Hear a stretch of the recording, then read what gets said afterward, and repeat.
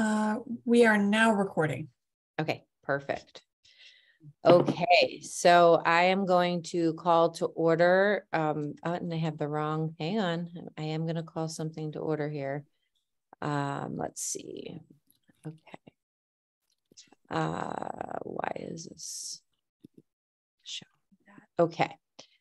Oh, interesting, it keeps pulling up the wrong agenda for me, maybe I forgot to switch the um, yeah, the date, I forgot to switch it, I guess. Okay, I'm calling to order the September twenty-eighth meeting of the Governance Organization and Legislation Committee.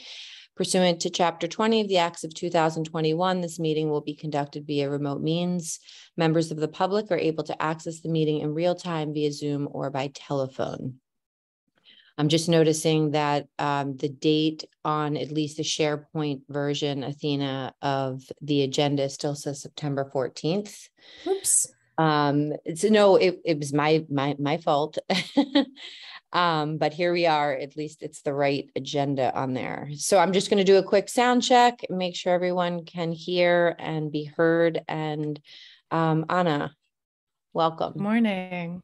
Morning. Uh, Nika? Good morning. I'm here. Great. Amy? I am here. Excellent. Thank you. Mandy Present. and Jennifer. Present. Okay. And I, Athena, I think you can hear us, right? I, Yes, I can. Thank you. okay, perfect. Um, so we're, we're going to do just a quick review of the agenda and then we have our guests, Amy and Anna here to join us um, with respect to the water regulations. So we'll jump right into that. Um, so we're going to start with the water regulations and then we'll move on to the three items concerning appointments. And so Anna, did you have some, uh, I, I meant to ask you this, did you have some feedback on the appointments part as well, or were you part of that process in some way? I I have a faint memory about the rubric or something. I have lots of thoughts and feelings, um, Okay. but I don't have anything official. Uh, Okay. No, I just I I'm happy to share from my own professional. Uh, this overlaps with what I do professionally, and so I'm happy to support Okay. in any way I can. Okay, so maybe we'll just, after we finish with the water bylaw, Sure. we'll move, or to the regulations, we'll move into that. So I'm gonna hand it over to either Amy or you, Anna, to um, give us an overview of the process that TSO went through and what, you know, what's happening with the water regulations. Sure. Amy, do you want me to start and then you can jump in or do you want to? Okay. So uh, TSO has been tasked with reviewing both the water and sewer regulations and bylaws. Um, and I want to note that somehow Athena and I had a chat yesterday um, where we were both like, oh crap, we completely just didn't do the bylaw. So um, that's that's a drop on our end. It, it was not in the same document. And so I think we just got so focused on the details of the regulations. So I apologize that I know your agenda says bylaw and regulations. We have a new timeline. You will see the bylaw. The bylaw itself is really simple and straightforward. So that'll be a quick one for you. But today we're going to talk about the regulations, which are, um, this is not a, a judgment on the regulations, but they are not simple nor necessarily super straightforward because there's a lot of quite literal moving parts to this. Um, so what our process Uh, was. just- I'm Yo, sorry yeah. to pause you. I just. Oh see- yeah, Guilford's um, here. Guilford has joined us, so uh, just wanting to make sure that Guilford can hear us and be heard. Yes, Okay, welcome Guilford. Thanks for joining us. Go on, Anna. Thank you. Uh, Guilford, they're letting me, they're letting me try to explain water regs, which was, um, which is very exciting for you and Amy, I'm sure to hear me mess this up, but our process is, I do know that. So as you all know, the, the regs came to the council. They have not been updated since, gosh, with the seventies, is that right? Since, uh, before I was born. And so, um, we are, uh, we are taking a really good look and basically Amy has rewritten these. Um, and it's been, I just want to do a public commendation of all of Amy and Guilford's work. But um, Guilford, this is no shade on you, especially Amy, because this is very much her arena. And uh, truly, she was, I'm so grateful for how much uh, time and effort and energy you put into completely redoing these. So thank you. The regs came from council with lots of comments um, and questions from uh, folks on finance, folks on council. And uh, we've com- we combined all the comments. We kind of went through, and what we did was we looked at all of the nitty gritty, sort of detailed comments. We meaning I combined them, and then Amy had to deal with all of them. But um, we also what we also did was talk about sort of the big thematic changes. And there's one really big thing, and I know GOL is dealing with more of the um, clarity, consistency, actionability, but I want to just talk through the big, the big content shift that we, the biggest content shift that we made. So prior to these, the new version, um, the homeowner was in, was responsible for the water line from the main to their into their home. Um, and so we all have seen emails about this. We've seen some concerns about things that happen, for example, under a public roadway where the homeowner is responsible. And so what TSO did, and I, I want to like, this is a really specific area of nerd that I didn't know I had. But what TSO did was we got into this and and had a really good discussion with Guilford and Amy about what it would take to shift some of that responsibility to a place where the owner is responsible for the things that they can control. So we're saying the new regulations have adjusted it so that the property owner is responsible for the water line from, and this is, there's some caveats to this, but is responsible for the water line from their property line into their home. The town takes jurisdiction and responsibility when it crosses onto town property. So that's, it seems really simple, right? So town is responsible for water lines under town property. Property owners are responsible for water lines under their property. Um, and so that's the, that's the biggest shift that we made. And we were, we were, I know that this is a big adjustment for our town staff um, to now take responsibility for more of the lines. And so Amy Guilford and I kind of talked through what what it would mean, how to present it, and how to move that forward. And it feels, from my perspective, and I don't want to speak for Amy or Guilford, like we came to a really solid resolution on how to make this equitable and fair while also not uh, throwing everyone into total turmoil. I know that this is still a little stressful for, or maybe a lot stressful for our town staff, but um, I appreciate the the willingness to work through that's the biggest shift in these regs. Um, there's a couple other things that you'll notice as we go, but um, I, I, wanted to just name that because it kind of gets a little bit lost if you're just reading through it like policy. But there is this bigger, um, in my mind, bigger kind of ethical shift that we've made that I'm I'm very very pleased with, and I think is important for us. Um, I don't know if Amy or Guilford have anything to add. Oh, and so process wise, just so folks know, um, we have finished the water regs, the sewer. Um, this is where I've learned so much. And I know it like it's like one one hundredth of what Amy and Guilford know, but water is um, pressure driven, whereas sewer is gravity driven. And so you're getting water now. I know I did it. Um, I, I uh, you're getting water now because it will be slightly different than sewer. And so we wanted to just start this moving. Um, I think originally the plan was to just get you everything at once, but um, there's going to be some slight changes between the two just based on logistics of how things move. Um, and so we will be getting you sewer a little bit down the line. However, it's going to look very, very similar um, in terms of the the major shifts. So when you do, I guess my my reason for saying that is one of the things we were striving for was consistency, and I know you're looking for consistency. And I'll ask that you know when we get to sewer, you kind of keep that in mind of consistency between the two. Yeah. Um, before I answered Jennifer's question, sorry, I'm sorry, Michelle, this is your meeting. I apologize. No, no, no, no, you're fine. No. I was just going to ask if Amy or Guilford, if I missed anything big that they wanted to share. No, I think that's great. Okay.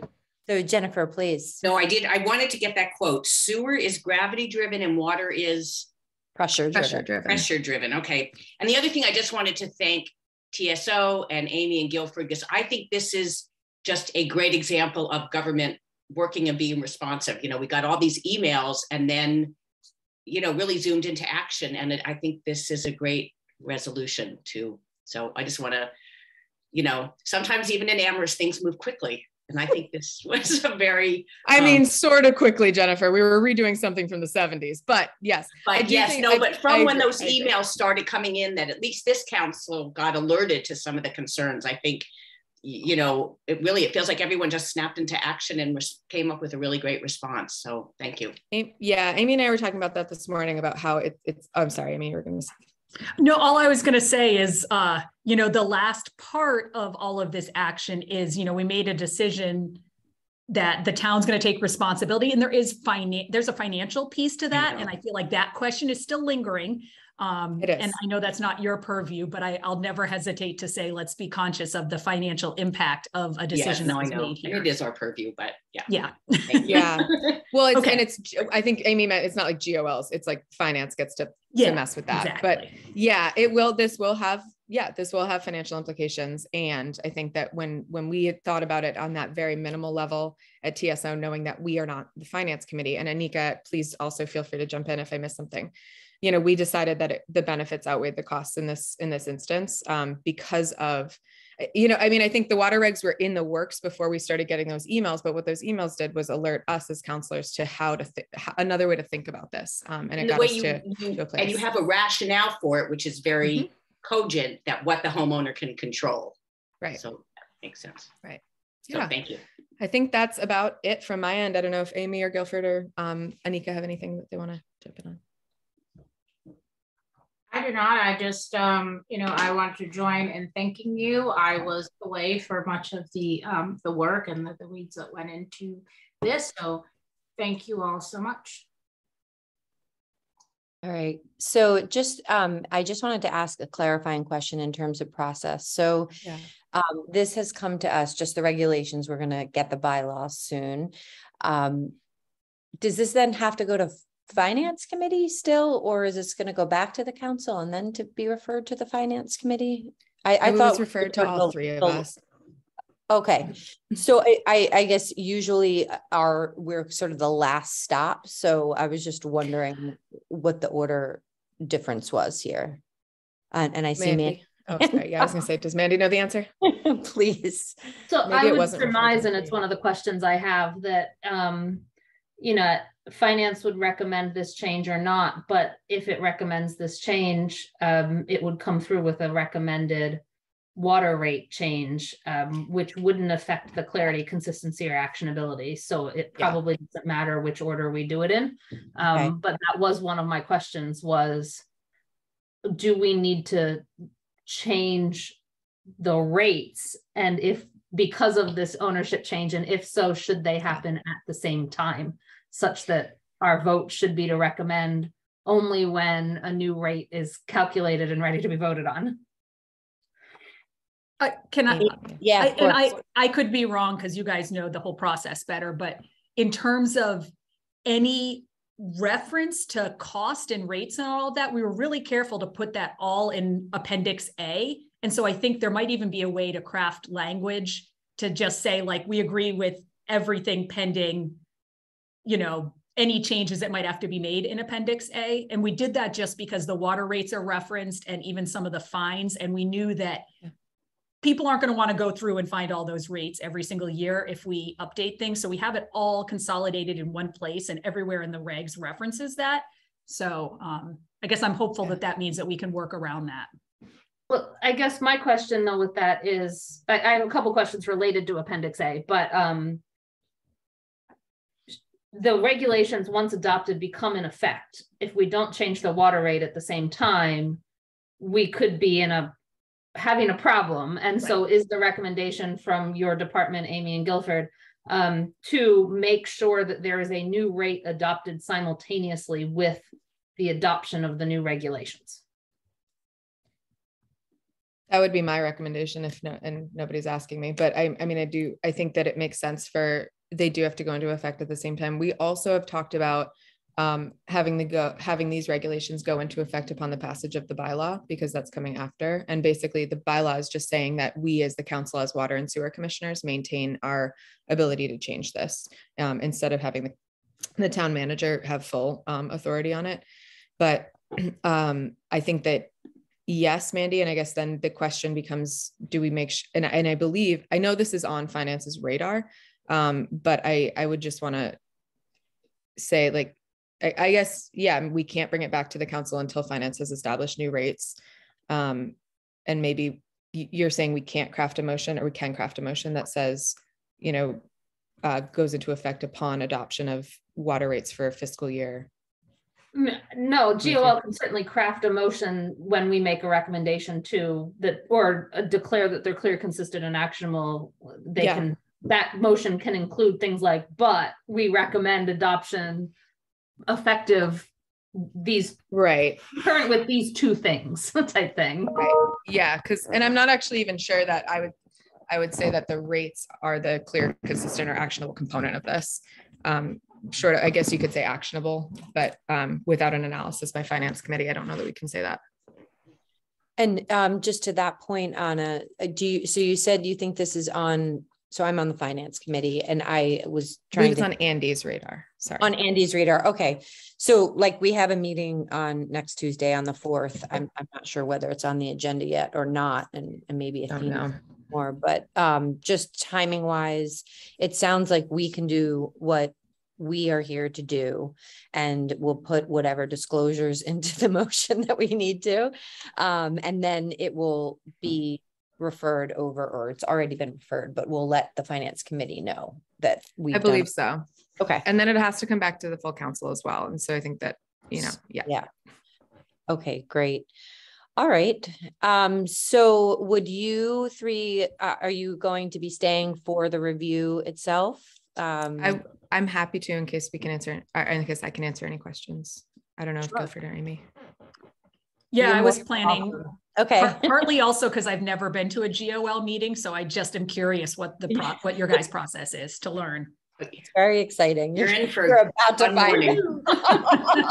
Um, Guilford, please.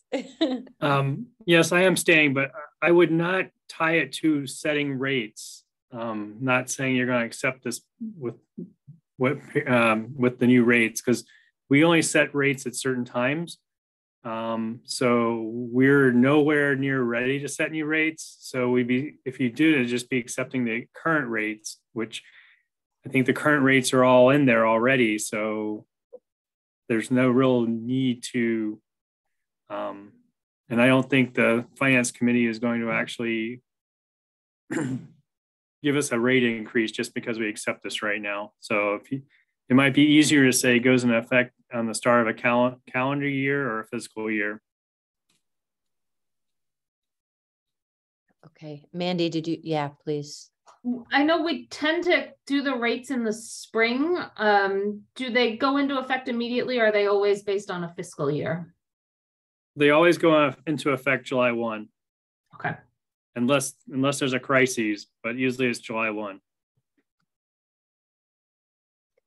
Okay, um, Mandy or Jennifer or Anika, do you have any more questions before we move into the review? No, thanks. Okay, Well, go ahead. depends on what you mean by questions. I mean, I have questions, but Well, will they be, could, could- could they happen as we're reviewing this? Yes. Okay, Yeah. perfect. So, um, are you in a position, Mandy, to bring, bring stuff up? It will have some of my edits on it, but sure. They're minor. Okay, and I think there was a, there was a marked up copy and a clean copy in the packet, so, This is the clean okay, with my markups. Okay. So Anna, maybe you, you have the uh, marked up one, just in case there's a question that comes Yep. up or whatever, okay. I've got it. Yeah. Um, so I'm gonna be very honest here that I have not, um, in this role as a chair of GOL, um, reviewed a document like this yet. So I assume, um, we'll go through and look at it and Mandy, um, has already made some suggestions, so we'll look at those.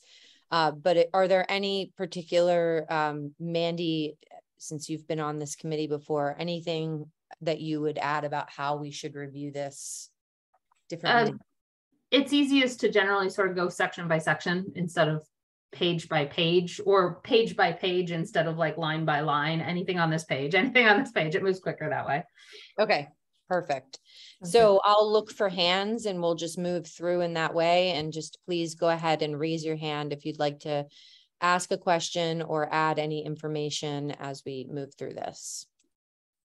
So my first one's basic and I don't know whether it happens. I'd love to have appendix A be on page one so that the table of contents is only on one page.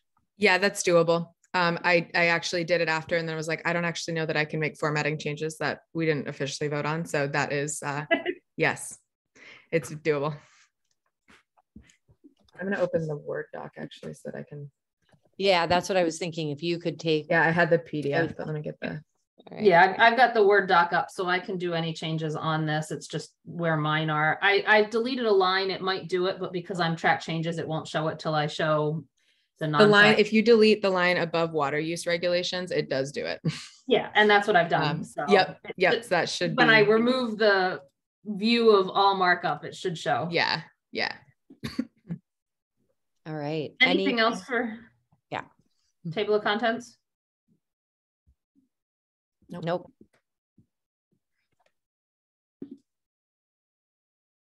I'm gonna try and get one page on at a time. Great. Thank you, Mandy.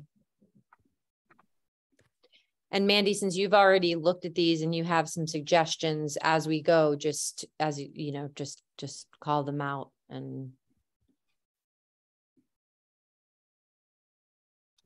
Well, they'll be marked on the side, but Okay. not all of them are. Um, so general ones, which I didn't get to doing, um, Mhm.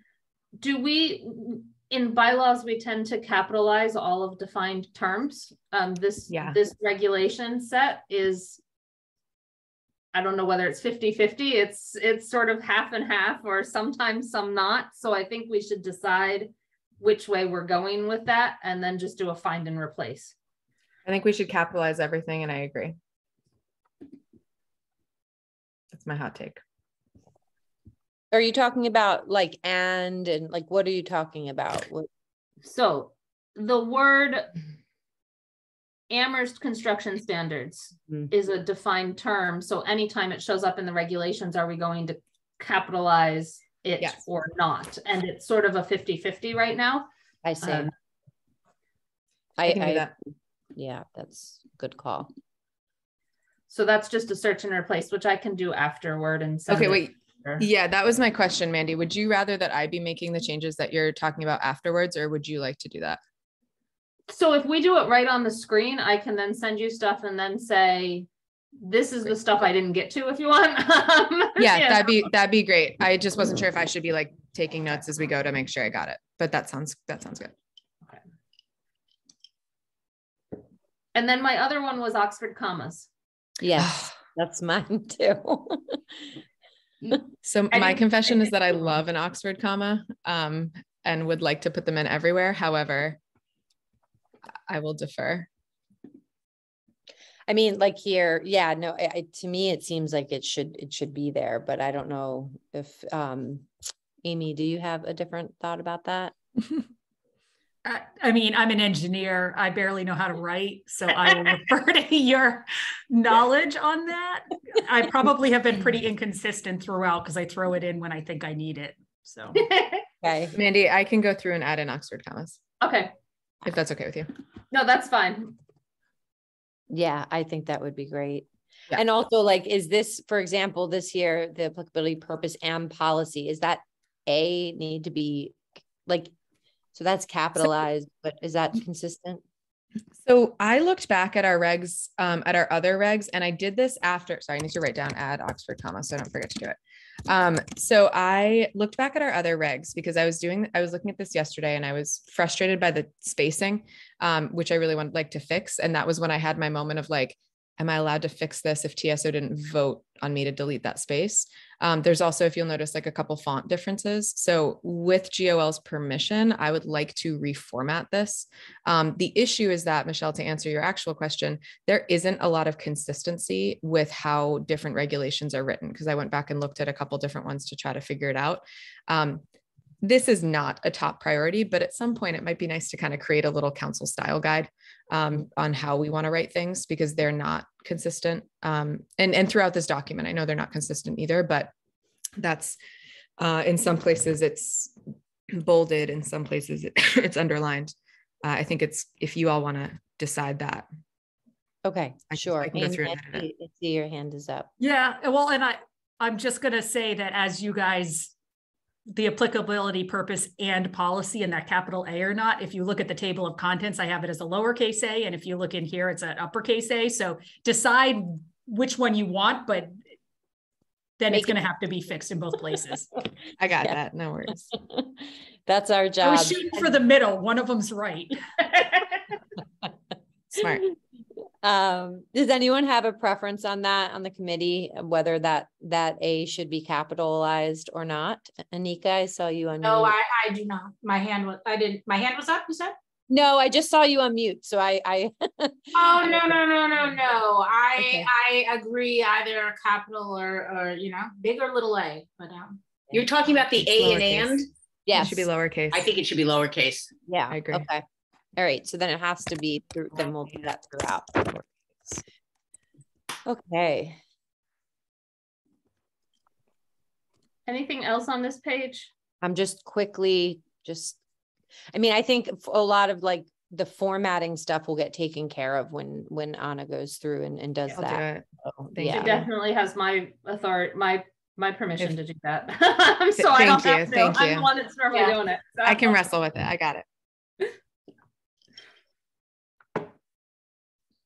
Okay, I'm moving on to the next page. Go for it, yep. Uh, this change here was Yeah. an addition of a paragraph because it just, the, the paragraph thing as built just continued on here, so. Sure. And I'll see it in the packet version. And I'm looking. Okay. And then down here in cross connection, there was a comma between three ten and CMR, so it just needs, I, I deleted the comma and added a space. Yep. Just lingering things. I'm good Thank you. here if you, when, once you're uh, where everyone else is. same.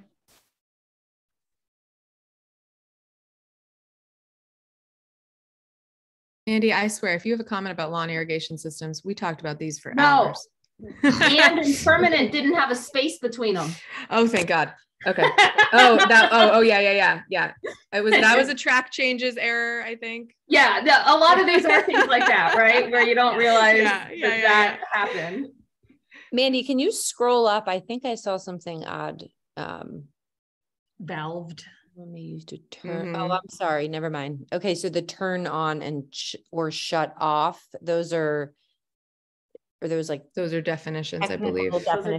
definitions. Okay, okay, perfect. Shut off is there. Oh, turn on? Amy, on is not. valved a word? It is in our world. Then great, that's perfect. It makes Turn sense on to me does as a not word. have a definition, though. Right. All right, turn then- on- Oh, shut off does. Okay. So do off we need a definition for turn on or do we, um, Amy? yeah.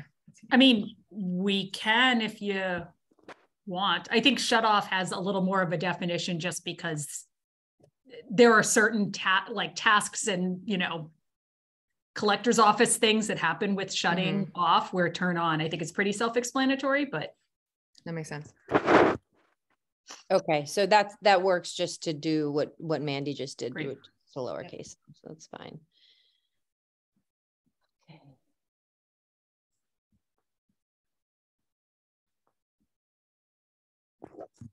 Is page six, more definitions.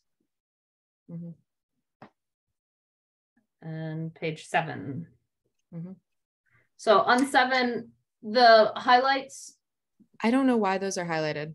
okay, Um, and I had fixed it in my version and then I got nervous that I had screwed something up. And so I sent you the version that still had the highlights. Um, but they should, it should not be. That's my, Amy, do you feel differently?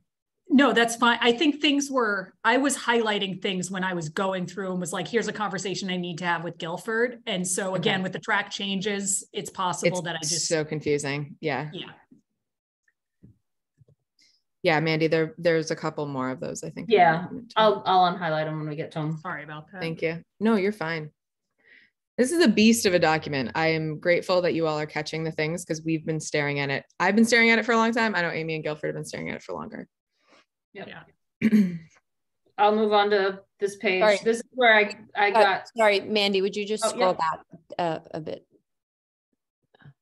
Number, I'm looking at number four real quick. No water being taken.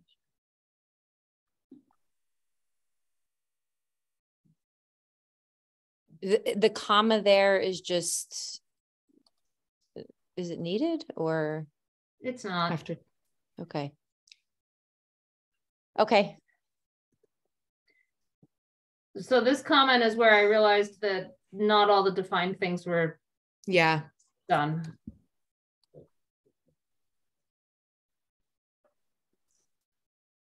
So I got that. I'll go okay. through and do the search and replace. Okay. And a lot of fun formatting. There's a bold A there, which I know why. I know. The B doesn't line up. I We'll get this. We'll All figure right. it out. I'll Anna's find no, taking it's care your of the formatting. I'm gonna Oh, fight with Microsoft. Word. I'm gonna do it. I'm determined. Honestly, I'm just mostly mad And that it A- wasn't cooperating. A should have a, a, a comma after stop, no? yes, it should for Oxford commas. Yeah. If we're, if we're adopting the principle. Yes. And I think there's a bunch of, in this case. There are, um, you'll see me adding some of them when I went through quickly and others not. Like I added You one can- down here and down here. Yeah. y- y- Check Um, at this point, I if you want to call them out, you're welcome to, but I'll go back through it and add on Oxford commas. Okay, anything else? And then this is where I started capitalizing terms and then gave up about three pages later. So, Hilarious. I I mean, the like, good thing is now I rather know this for the sewer on. regs. Exactly. Yeah, we'll get this for That- sewer. So the sewer Yeah. regs are gonna be smooth, smoother sailing. So the, I think Michelle's gonna say this comma is probably not needed. I don't think it is. Where are you? Oh, okay. Four B on page nine. Yeah. Thank you. Thank you. Thank you.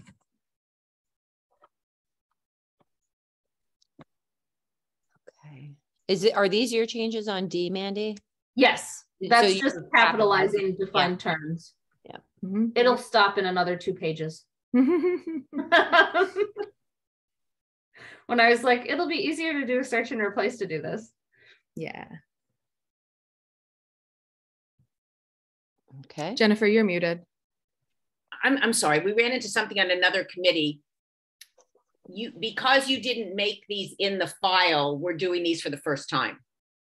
Like, if you had made any changes to the file, that would have been an open meeting law violation, Yeah. Like if I had, if if I had, right? Because it came up, right? Yeah.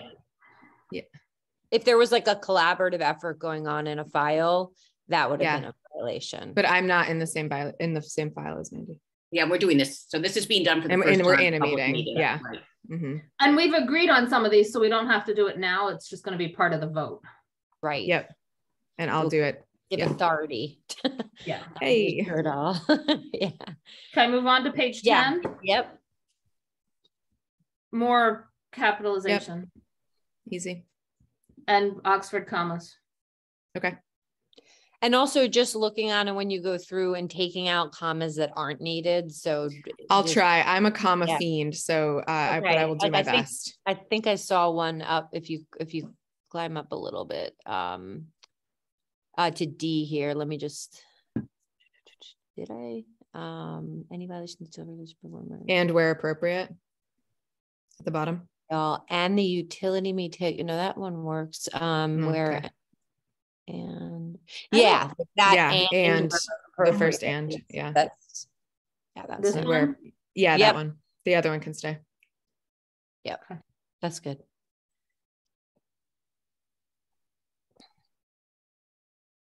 Page, I think we're on eleven. Yep. Okay, More Oxford commas from me. Oh, Okay. down here's a non-Oxford comma. B meters greater than two inches, right? Yes. Correct. Just wanted to make sure. Mhm. Not two inch. I- We call them two inch meters. And so that- that's Ah. my slang, not being It's the grammatically correct. industry term. It's the industry term. So you're right. Okay. all right.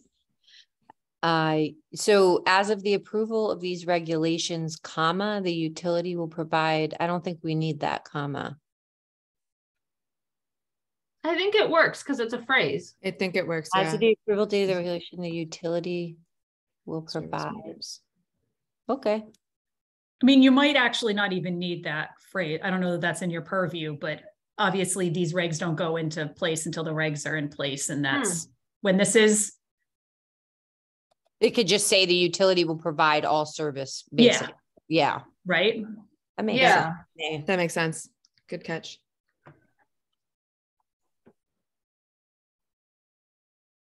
Yeah. Mm-hmm. Okay. Next page, page twelve, Mhm. an extra space on two A, Thank you. couple of commas. Are the rest of mine. Do they, is location underlined because they like a comma before the which? They want a comma after location. Right. Yeah. Usually when you put which, they want a comma before it instead of that. If you said in a location that maybe safely, I don't think it would want a comma. Hmm, I like the that better than the which. Yeah, try that and see if I, it, I always like that better than what. Yeah. yeah. I do too. agree. Wait, well, okay. Go ahead. That's how I read with that. It weirds Right. it, it weirds read to me, but I'm not. This is not my committee. It weirds read. It weirds read. That's where I'm at today. Yep. I left my coffee Sure, I downstairs heard and that. it's killing me. Yep. no, you Um, heard correctly. Quickly on the, what are the, what's the light brown under, like period of time, period of They're time? gonna, I, I think that's because they want you to make it shorter. As in, and in, is in instead of is located in, if a meter is in an inaccessible area. Right, like that located is not needed. Um, but that's grammatically, but do you feel, Amy, that that gives more clarity to the the language? I mean, I think so. Okay. Um, what about the period of time? What is it asking um us to do there? Probably the same thing, just period. Yeah, yeah. Period. I think that I would take out the of time unless that's someone feels strongly about that. Where is the of time? So up So- here, there's a will be charged triple the estimated water usage for the period of the current billing cycle that the meter was tampered. I like the of time in that. You do? It just seems clunky to me, but it, yeah, it, it's, I'm not gonna, it's fine. Period of time of the current billing cycle. I think usage for the period of the current billing cycle. I think that's fine as well. I, I agree. I also will tend to like overuse commas sometimes and chop out information, but I, I think in this case to be, you know, it's important to be extra clear, you know, for someone reading it, so we're not um, leaving any room for confusion. So Anika, are you saying would it I'm be- to leave the of time? Um, and Amy, is that what you were suggesting to leave of time? Wouldn't it? What I, if you I think I could go either way on this particular one. Okay, Um, What if you said it for I'm the also not a portion of the current billing cycle? Yeah. Yeah, I think, I think that one reads well either way. So if you want to take those out, that's, I'm okay with that. okay. I tend to be like a minimalist with that, so if I, you know, other people might have a different, um, Would it- but Would it feel better to say estimated water usage usage for the portion of the current billing cycle that the meeting was tam- meter was tampered with? Aren't you glad I'm not on your committee? no, So the that's question Sorry. is, Well, that's there's not, very clear. does that change the meaning by using portion versus period? right. oh, I thought they were this. I didn't think that, but yeah, that's fine. You just say A time. period is a cycle that is uh, determined, whereas a portion isn't, at least as far as I understand. A portion is like a segment So- of the entire period. What yes, but isn't that on what this is saying? Amy, was this the, the charge tripled for that whole billing cycle once it was tampered with? That the billing cycle during which it was tampered with, the whole cycle gets triple? Or is it just from the date of tampering?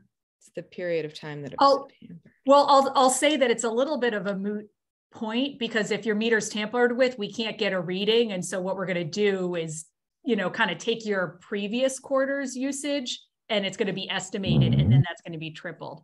Um, and that, that's per mass general law, so our hands are tied on the tripling. Um, but it's, it's a little bit of a moot point because if we can't get a reading, it's gonna be on, based on an estimate. But it'll But be it's an for the estimate of the- cycle, not just like one month. You'll, Correct, because we're not gonna know when it was tampered with. We just know we could get a reading last time and we can't this time because of tampering. Got it. Okay, then yes, I agree. Don't change it to portion. I misinterpreted that. All right. And that's the same for the unmetered lines, that it's the whole cycle. Mhm. Yeah.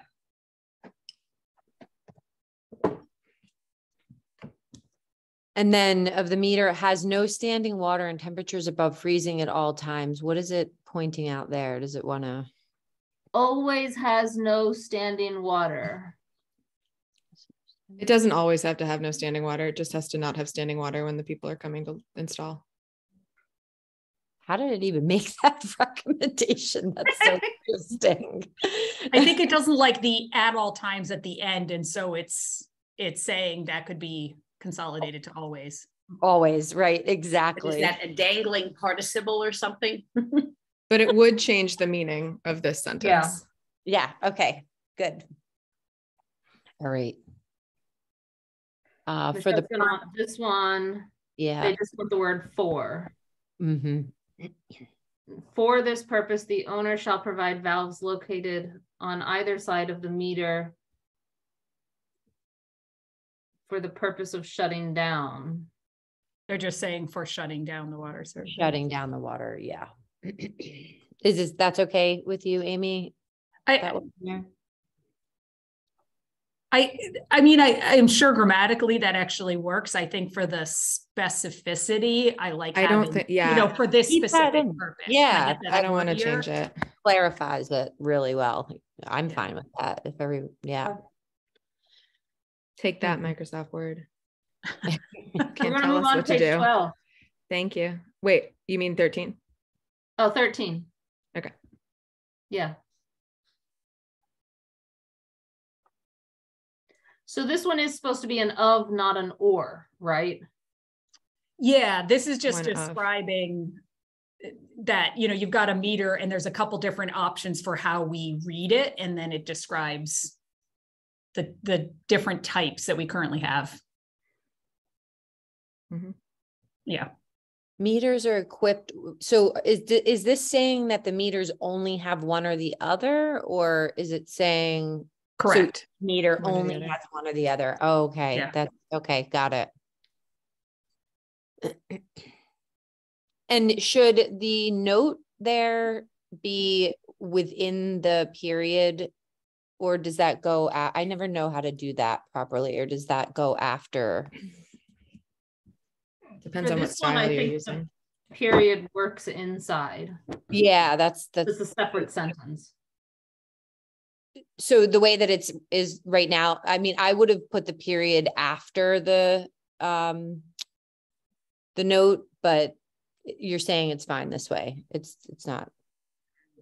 I mean, Michelle, you're saying, you say utilities reader and not have that period there and have that note within that period. Not Yeah. whether the period at the end of phased out is inside or outside. That- Correct. That's what you're asking. Yes, that's what I'm asking. Yeah. Cause it, does it refer to that, the outside reader? It refers to the outside reader specifically. So I don't know how you guys, where you want that. Yeah, I think, I think that you should just go with your gut here, um, because I don't think that it necessarily impacts the clarity, consistency, or actionability. yeah. I would remove the period and put it after the, after the note. Love that. Jennifer, you have some, is that? I know sometimes you've, you've pointed out these kinds of things. Okay. I No, think- I'm good. Okay. That's what it would look like. That, to I me, like that that was more. right, yeah. All right, great. Um.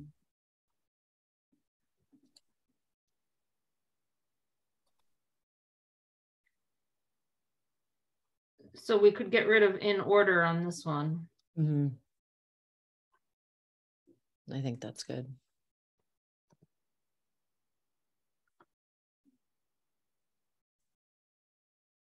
Move on.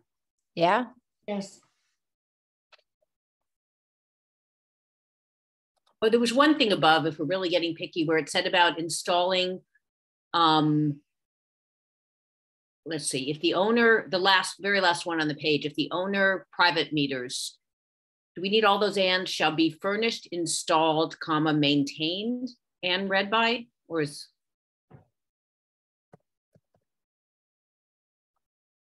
Maintained, yeah, that's. that's And I don't think we actually need the A on this one. Because there's only one sentence. Yeah, So I think we can get rid of the A. oh, that's a fun, a fun little. We haven't run into that yet. I like that.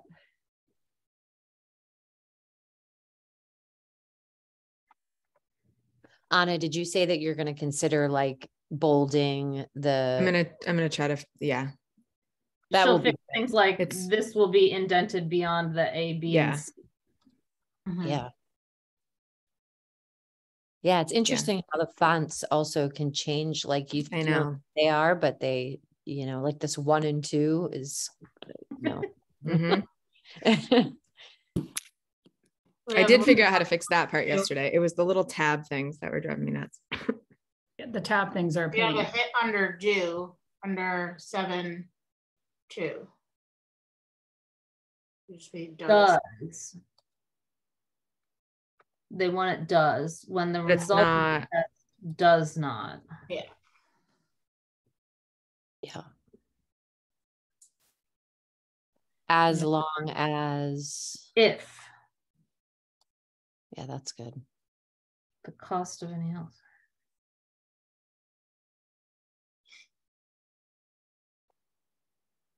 Do we want to change that to if? I would, I think, I mean. I don't think we need as long as Yeah, personally. I agree.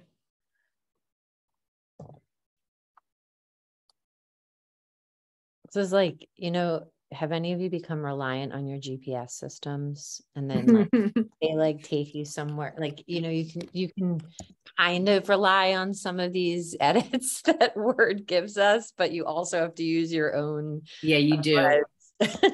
You Word doesn't get nuance. yeah. All right. Page 15, how many pages we have on this 28. That's why I'm moving Mm. through quick. okay wow this is a big one okay are readily Told you it's a accessible at all times um are- Always readily accessible. Okay. No, I like it this way. you like it this way anna Personally, I do. Are readily accessible. Well, the only thing I would say in terms of consistency is that we've taken out the at all times in other places, right? So We didn't. we didn't end up Alright, taking it out. No, No. we kept it. We kept it in the last one. Okay, so then if we kept it, it it's fine. I would say. I thought for some reason I thought we. Because in the last one, it changed the meaning of it. Yeah. That's right. Yeah. And the defense of all the time that went into it, I think, um, you know, it's understood sometimes when you see the word shall, you are in for some long reading. What was that, Anika? When you see what? And just, you know, kind of over overall, I used to have a little a blurb sent to me about this that was like some of, of the words that when you see them, like keywords, you know you're in for long reading and pay attention and shall is one Yep. Oh. This one down at It does not leave room for error, which is great. the fees and expenses. All installation of devices require a permit. Installations require or installation requires? I would put the S on installation. That sounds right. yeah. Yeah. Great.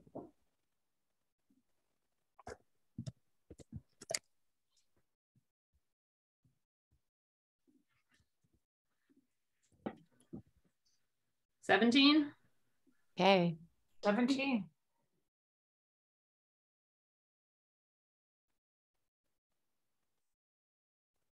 They want to change sufficient to enough. Mm. I think sufficient's better. It seems more clear to me. Yeah. What's the, yeah, okay. It's Anna's love of commas there. I know it's so bad. My mom is like a, a literacy teacher and she can't stand me sometimes 18. for other reasons. But you know.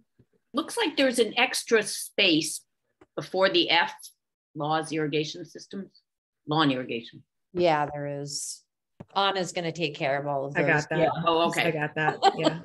No worries. I got that part. Near,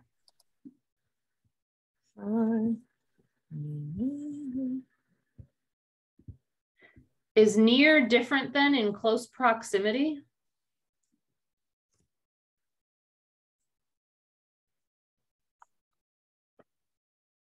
Is it, it's asking you to put near in there? Yeah. Yeah.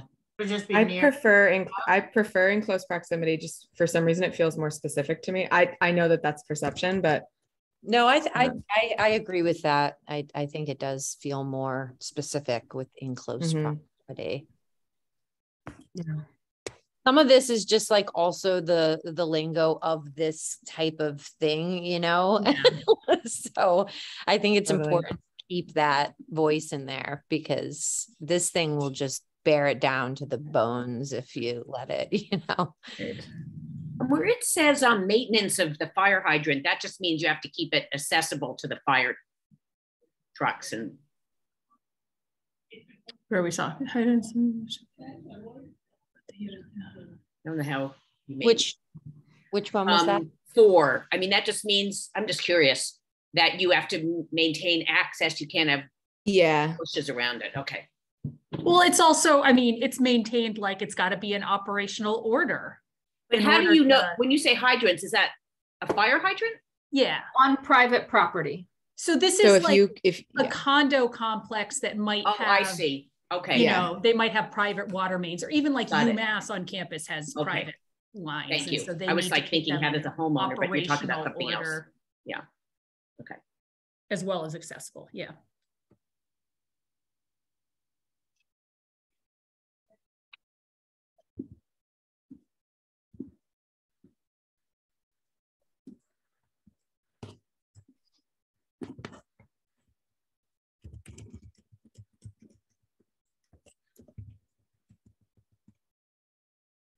I'm just gonna keep scrolling. Yeah, yeah.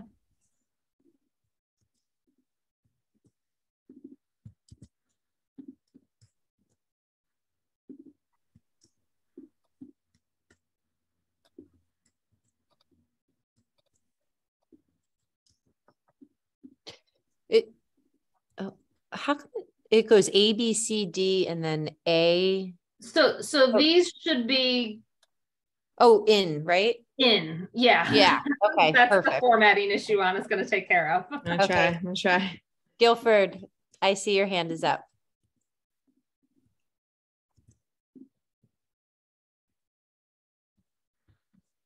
He just Sorry. accidentally hit it.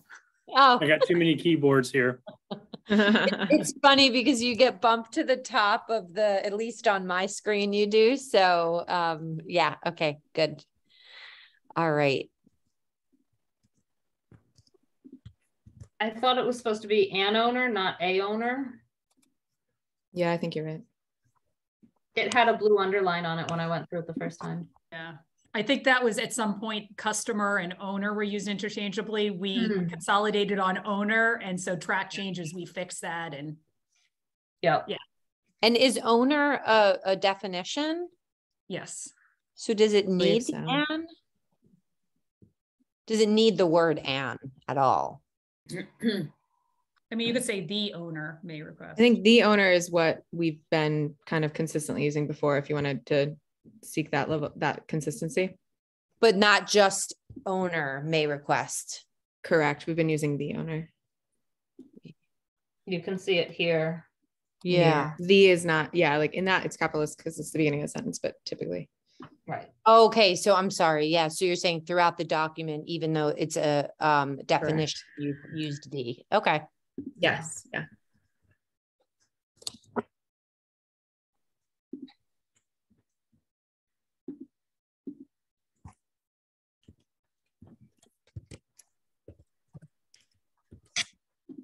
And I didn't go through and check references like this. I assume Anna and Amy that they're correct. I could highlight it for further check. Yeah, let's let's double check because I don't know that I went through to double check every single one of those references after a couple of things got shuffled around. So that's a that's a great call that we should just confirm. Mm-hmm. I think this is the only one I saw throughout that was an actual reference, but if I see others, I'll highlight them. Great.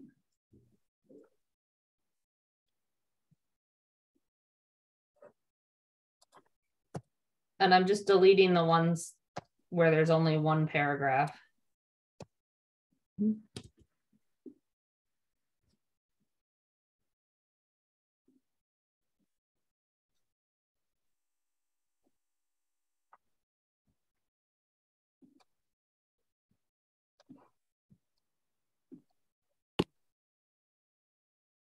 Anything? I'm not seeing anything right now. No.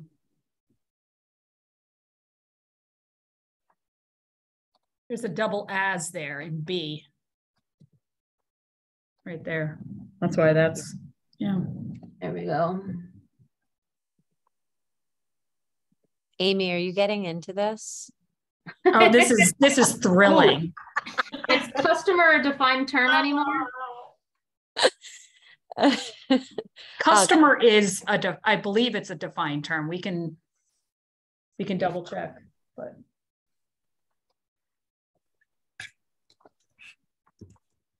Yes.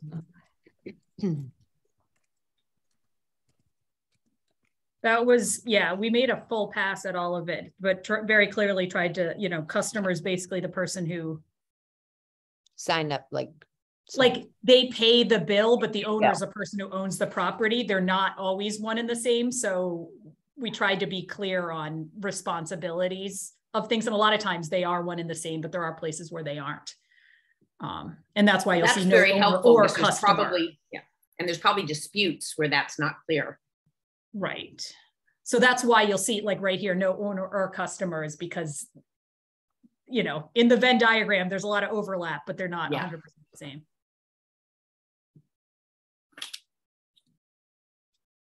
That gives us to the appendix, which is where I have questions. One of it which is this one. Um, I'm always concerned when we refer to rates in a document that we might not update regularly. Um, you know, we vote the rates every year, and maybe because they haven't been part of the regulations, the vote has just been the new water rates for FY twenty-three will be X, right? That's what we vote. We either, I think, have to change the vote um, or be concerned with, since the regulations say the rate is what the appendix says. I think we either need new language when we vote rates, but then I'm concerned that even if we have that language, if it doesn't actually make it into Appendix A, that we might not be able to charge the rate the council voted until it's changed in Appendix A. And I worry that that might get forgotten sometimes since this is new. So is there a way we can, this is just language I sort of came up with, um, a way to ensure that the council's latest vote is the water rate, even if Appendix A has not yet been changed. Mhm. Does that make sense? I think Can- so. You're saying, oh, sorry, go ahead. Oh, I, I, I was gonna, ultimately, this is your guys' decision. I'm gonna advocate for the town council every year votes and updates all of Appendix A, because I, I, you know, we also don't want stuff like the meter rental rates as meter prices increase. Like I, I want them on an annual basis to not just look at meter rates, but to review any other cost um, or fee and make sure that we're that those aren't static you know some some of these things have been static for you know 30 40 50 years and they shouldn't be um, and so i want as we're looking at rates i actually would i'm going to advocate for let's look at the whole picture and let's but i do understand that that's asking town council to look at it differently and not just approve water rates but to approve you know all of the associated fees So this Just would be preference. also I think this is Mandy why I just made a note as I'm looking at the bylaw. Um, you know, the bylaw would let does say, you know, from time to time, the town count the the town manager in con- in consultation with superintendent of public works may propose to the town council adoption or amendment of regulations, which because these are part of the regulations could include fees. And so I wonder if I add a section in the bylaw that says on an annual basis, the town council shall um, review and uh, update as needed a rate and fee schedule. Um, and I, if I include that in the bylaw, it forces us to do it every year. Um, it would mean having a public hearing on it, which I believe we, we would do now, right? And so, Hmm. I mean, I can specify that out, right, in the bylaw. Yeah, I mean, we don't have to, we could specify an annual review every year. I'm just worried, you know, the way we voted rates in the past, and it could be because we haven't had an appendix or something, is just the rate shall be X. And then the council's vote stands, but if the regs say the rate is as per the appendix, if it never gets changed in the appendix, it doesn't matter what the council voted. But we have the ability, we would have, this would change it so that we have to change it in the appendix. Right. I'm sorry, I didn't mean to talk Yeah. over Guilford. Yeah. We're really, we're really pushing for the fact that when the rates are voted, you actually are voting on appendix A of the water regulations and the sewer regulations. And you would actually have the whole appendix when you vote. That's what we're really hoping for. So it don't, it won't get lost because you won't be able to vote without the appendix. So we really, we really kind of set it up this way to make sure it gets voted every year that way. Okay, that helps me Yeah. So that. I, I can add in something in the bylaw though that does say the council shall conduct an annual um, hearing on and vote or, or conduct an annual vote on appendix A annual of the regulations. Annual review, thank you. of the rate and fee schedule. Yeah. Um, I think we just need to make sure Athena, um, realizes the next time we vote rates, the motion will look a little different. Well, and to Mandy Jo's kind of point or comment there, do we want to just make sure somewhere on Appendix A that we're capturing like the effective date or something like that? Just because uh, two years from now, there may be a couple of different versions that somebody printed off at some point, think it's still Right. applicable. So just making sure that somewhere it, And I see Athena's hands up, so maybe Athena will add to this.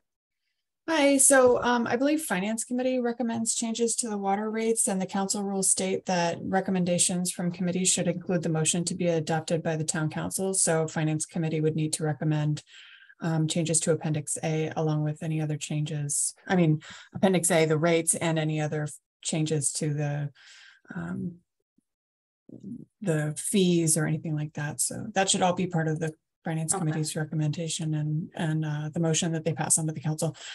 Most committees don't do that. I think CRC is the only one that does that consistent, consistently, but that's what the rules say should happen. Thanks.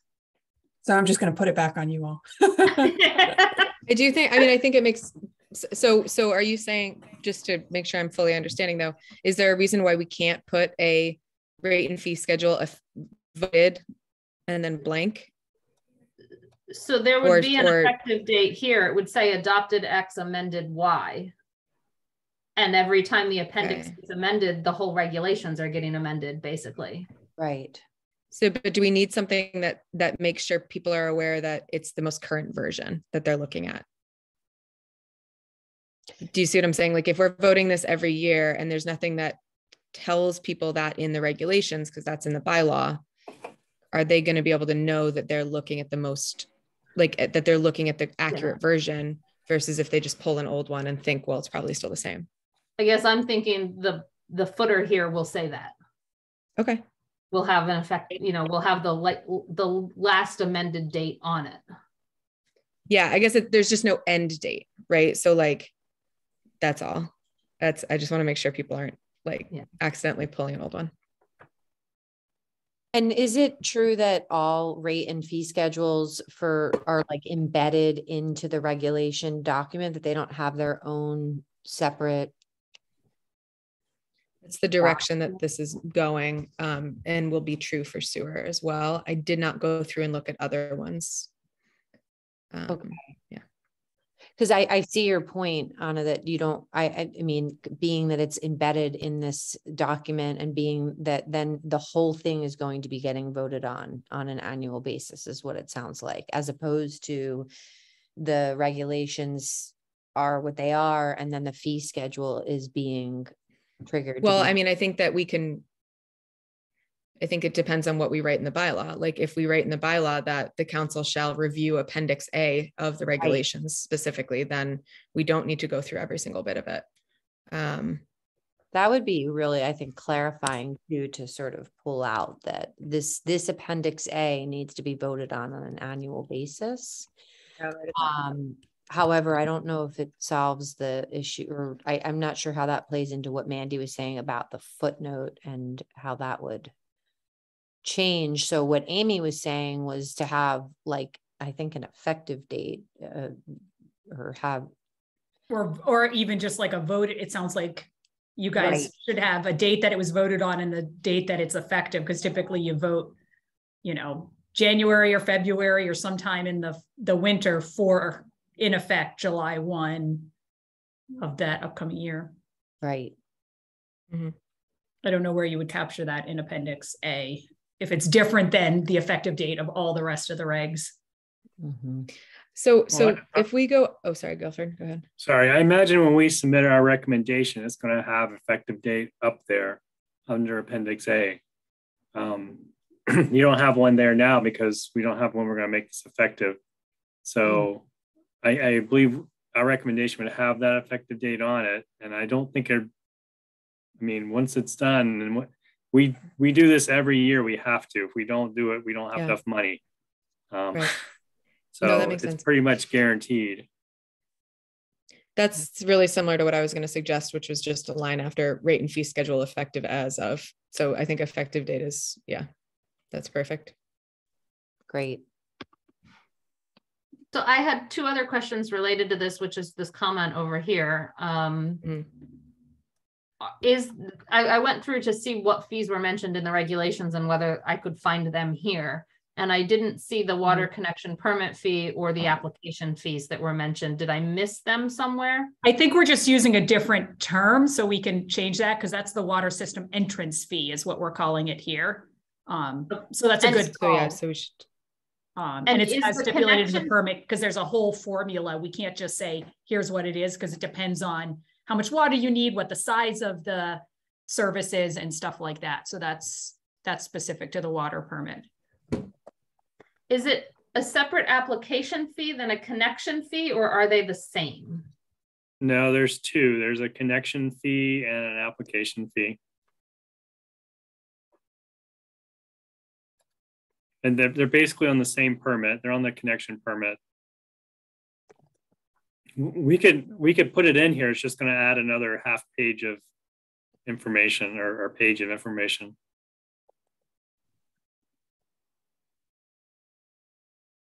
Would something like that work?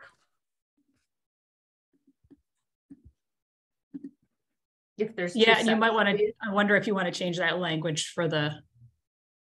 Again, it's stipulated in the application.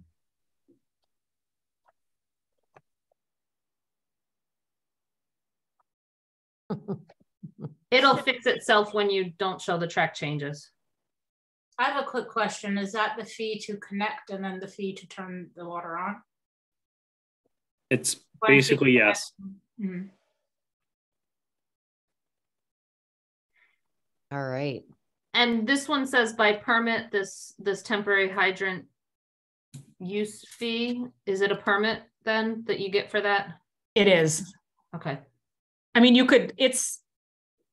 If you want to be consistent with language, you can say on the applicant, like there's, there's the application that you complete to get the permit. And so if you want to be consistent with language, that's. That's appropriate.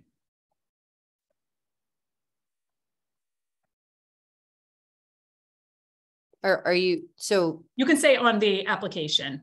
yeah, just, right. okay.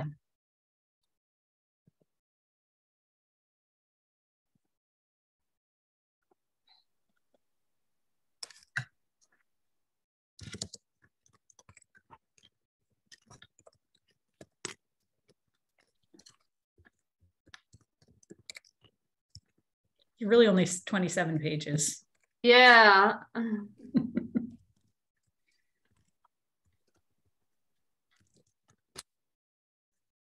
I think it'll show 27 now.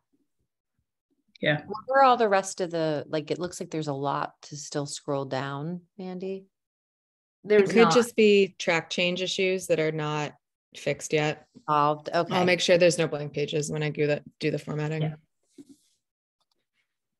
I I think I think it'll disappear. Yeah. I don't know what this line's for. It might just be to show the end of the fee strip page. I, We'll delete it. yeah. I think at some point I was like, what's the fee going to be? And I left this, but it, it looks like it kind of got pushed down. Like I left a fill in the blank here. Yeah. So. Awesome. Um, so any other questions or comments or uh, we we are going to make a motion and this is the really fun part because we need to account for Anna making changes to this after um and, And me. yes And Mandy's so- it too. Mandy, do you want to, excuse me, it's my dog. Um, if, do you want to attempt a motion here? Um, give me a second to draft Sure. a new one. Sure.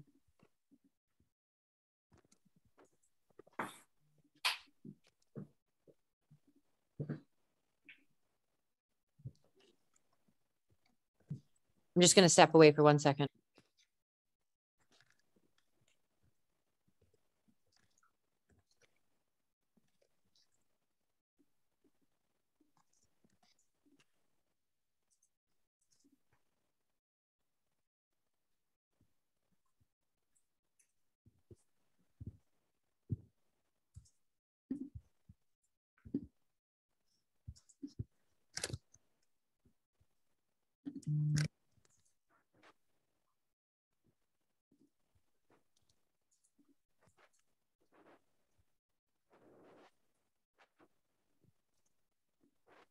Are we going to recommend a specific adoption effective date or not?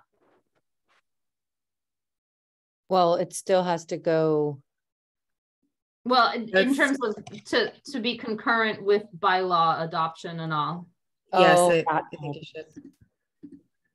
That's what, that was the consensus on that, right? Yeah. But, okay. So Okay, there's let's try be a sewer regulation, um, and a sewer bylaw as well? Okay. Correct.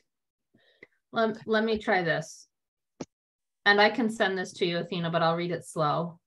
Um, to declare the, well, I, I guess I moved to declare the water use regulations clear, consistent, and actionable, permitting subsequent formatting changes as discussed at the 9-28-22 meeting, and recommend that the council's adoption have an effective date to coincide with any required rate increases or bylaw adoption.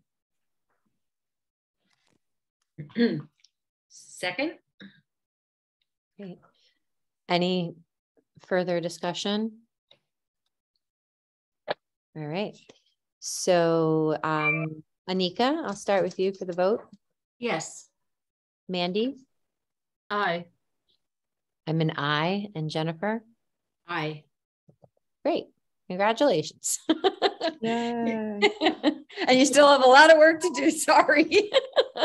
we did our best. You did great. You did great. I will send this to you, Anna, after Thank I've done the, the defined capitalizations. Thank you so much. All right. Thank you, Guilford and Amy, for joining us. That was really fun. Yeah, Um, thank you.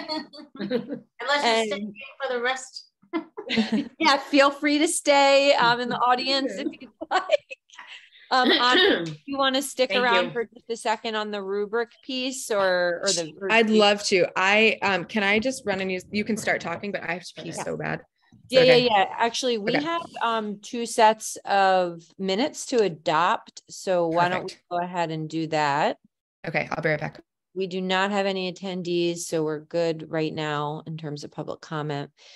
Um, so we have, let's see here. Um, the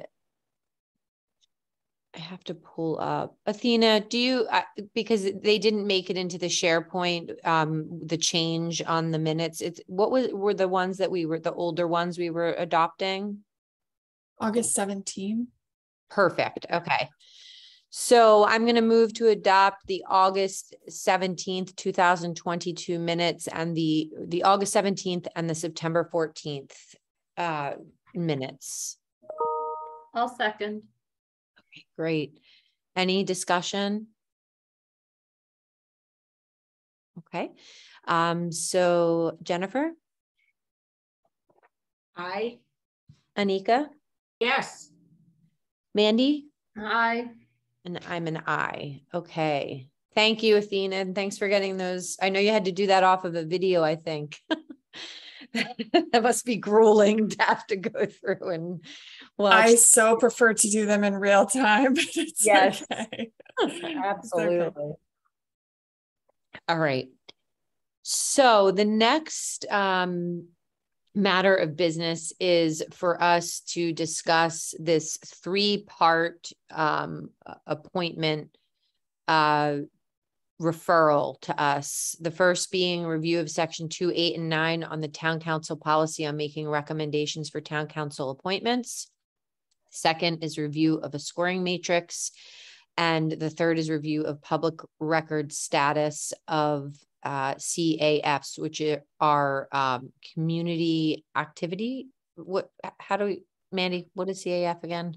Community activity forms. Forms. Okay, good. Um, so I guess I probably would have made, I, I don't know what you think about this, Mandy, but I may have done this a little differently in terms of how the agenda is written. We're not reviewing a scoring matrix as much as we are discussing the possibility of one. Is that true? Yeah. Okay. Um, so, and the reason I've asked Anna to stay is because I remembered that uh, they had had some um, thoughts about this previously. And so if we want, and I and think in particular the matrix. So maybe we can just start there so Anna doesn't have to stay for the whole discussion and um or unless unless you want to. I don't Uh, mind. I love GOL. Yeah, um, but please, if you, um, I, and I know Mandy, this was your, these were your recommendations, I think, and, or were at least gone through in CRC. And so having, do you want to provide us first with like a background overall? Yeah, I, I can provide a background. So as CRC was running into this problem last spring, right? Um, as it related to um, appointments and looking at trying to fill the remaining vacancies at the ZBA. Um, and given our last thing, we were looking at potential changes to the policy that the council adopted um, that that CRC, at least for the next set of appointments, thought would be useful and then said, you know, maybe the council needs to look at these. And so those got referred. But while we were doing that, um, you know, in my four years on the council dealing with appointments for three of them or recommending appointments for three of them, Anna, before she was on the council, came to GOL a couple of times and and um, spoke highly of some sort of rubric or scoring matrix or um, in order to potentially um, decrease the the bias, unintentional bias, but bias that can go into making recommendations.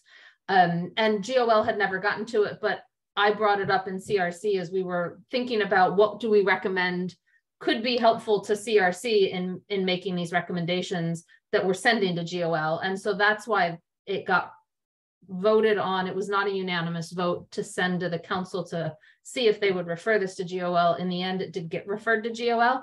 I didn't have beyond that memory of Anna mentioning it multiple times in. You're being very kind term. about how I showed up with this. Um, you know, I, I did not research it. I did not look into it. I did not look at any potential examples um, because it was more of a maybe it's time for GOL to look into this and and get it formally looked into. So there isn't any examples or anything, but um, it, it was based sort of on those two experiences from my point of view. And then CRC made that recommendation, like I said, was not unanimous to the council and the council referred it here, again, not unanimous. But I think the initial referral is to determine whether it would be appropriate. And then if GOL makes the recommendation that it would be useful, then for GOL to recommend what it would look like.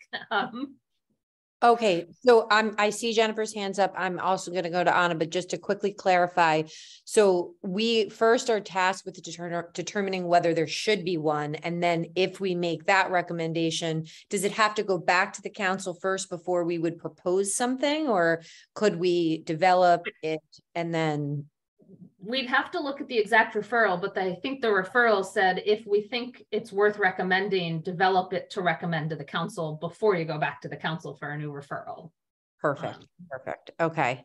Okay, Jennifer, please. Um, yeah, so I'm sorry, I just want to correct. So it was, we would develop one and bring it to the council? Only if we thought it was worth doing, like Oh, only if we were gonna recommend the council Yeah. adopt one. Right. And so I think what was the discussion the council, I think it really, and I include myself in this, I don't really know what it is. So I think people just have, they reacted to it not knowing what it could be. So that would be really helpful to know. I agree. And just to sort of follow up on that point that Jennifer's making, you said that it didn't get voted unanimously um, at CRC. What was the, was there any, anything you could shed light on? My Yeah. guess is it's very similar to the the conversation at the council. Um, Jennifer can probably confirm that it was. Right, It people was just more didn't, like, yeah. it's what you associate a matrix with, but, so that's why I think it'd be really helpful to hear from Anna, like really, Perfect. how is it, what is it? Yeah, we don't really, we're just. Yeah. Okay, patiently waiting. Anna. Tell us what You know, is. No, it's fine. Uh, Mandy, I'm, I, I can't believe you remembered me constantly showing up at GOL and, and uh, George being like, we have been working on this for six months and you're coming in now. Um, but I'm really glad that it's getting brought back up again. And, and, and that's not any fault on, on George. Um, so essentially what, what a, what a rubric does is when we think about so i'm i'm approaching this a little bit from my professional world when we think about hiring and reducing bias and promoting equity in, in hiring decisions right? Because essentially what we do when we are appointing is we are hiring someone just they don't get paid. Um, and so we are appointing someone to a role similar to hiring someone into a role and when we make those decisions when we make appointment decisions to match the specific skills that we're looking for uh, in the role right in the job in the appointment in, in whatever it is we're reducing the potential for bias versus if we look at the people and then decide if they fit whatever conceptualization of the role we have in our heads. So I also want to just kind of name something, which is that this is a political role, right? And so there are politics that are going to come into play. And I'm not saying that we can get rid of whatever personal uh, things we may want to see. However, we can't root those personal things in in bias. Um, and so what this is doing is allowing us sort of as a first step to mitigate um, how we're looking at at folks' skills um, and kind of take that take that bias away um, as much as possible. So what a rubric does it, or what how it kind of functions is that you create a set of standard quote unquote measures right? Standard attributes or skills or traits or knowledge or ability that um, map to the role and map to kind of where what the role needs to do. Um, this is quite literally often presented as a template. Um, i've seen them done as as like excel sheets. And so you create that sort of scoring standard. Um, it needs to be the same for everyone, right? It could be one to four, could be yes, no, strong yes, strong no, whatever, however you decide, but everyone is using the same um, matrix. And the idea here is that if you want to appoint fairly, you need to decide on what you're hoping to evaluate before you design the evaluations. So this is where, you know, GOL would come together and say, what is it that matters most in different appointments? And then there's a lot of decision points for y'all, right? Is this a matrix that needs to be relevant regardless of committee? Is this a, you know, do you create different ones for the just the ones the council appoints, et cetera, et cetera? There's lots of questions for you. But you can you can adjust that rubric to make sure it's specific to the role. Um, however, having general areas would be helpful. So um, in terms of best so just to be very clear this is considered best practice in hiring.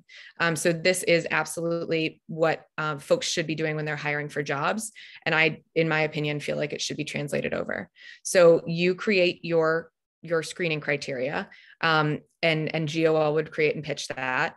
And um, some things might be you know related work experience um, or or translatable work experience i think in this instance uh, education. Some people talk about you know service in the community other service that they've done other past experience um, training or professional development uh, experience working with diverse populations. There are lots of different ways but you all would have to decide on a set of maybe you know six to eight kind of ca- like areas that you think are most important. Um, you or whoever is i guess it would be you all um, appointments are blanking in my head. It would be you all. Um, would would clarify this prior to um, screening candidates and you could decide um, my recommendation would be would be to use this in your screening process and your interview process.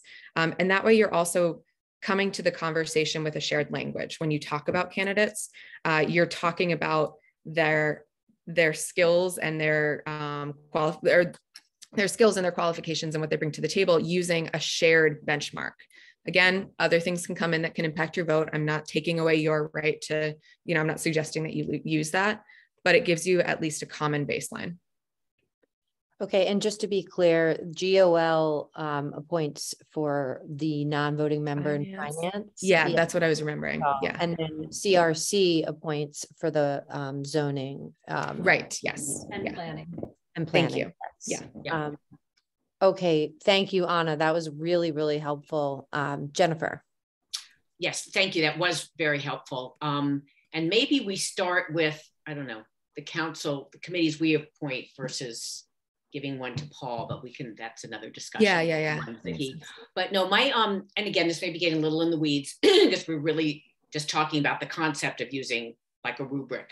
But mm-hmm. um, I think since we're for our committees, or Paul's too, you know, we're looking for volunteers from the community, is how we deal with, um, you know, if you're hiring for a professional position, you really are looking for specific experience. I mean, I fear that one reason Sometimes. we've been, yeah, well, challenged to get more like applications or CAFs for ZBA mm-hmm. is it is intimidating when you read the experience.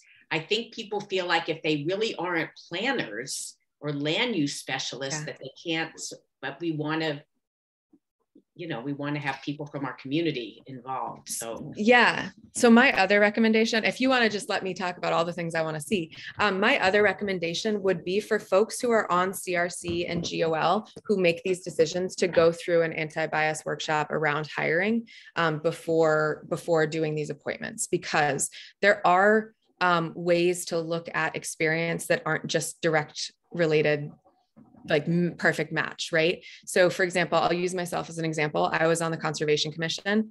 I i have an undergraduate degree in environmental science but i haven't touched it in you know since that many years ago. Um, and so for me, my qualified experience is that I spent nearly every day out on those trails, right? And like that was relevant for folks. I was very familiar with it. I saw how it changed, I saw how it adapted. And so that would be considered relevant experience. So I think that what's important for you all is to define those categories because I agree, Jennifer, that this is those boards, especially the ones you referenced, are really intimidating. And there's no reason why a non professional planner could do a great job on them. So it's it's important that you all are creating whatever matrix you end up using that you're creating it and that you have a shared understanding and definition. And that would be a discussion to have amongst yourselves is are we okay with somebody who isn't a professional planner? My argument would be that yes you you i'd love to see that. Um, and when you think about unbiased and reducing bias in hiring that's something that they talk about a lot is it's someone's job doesn't necessarily mean that they'll do that role well. Um, and so it's important for you to consider what are the, the things that you're looking for. Um, and if they're not a professional planner and they're a teacher, what skills are they taking from teaching that then they would apply? And you can ask that question. Um, yeah. Thank you, Anna. And I saw first Mandy's hand and then Anika's hand. I'd love to hear Anika first. Anika. Yeah.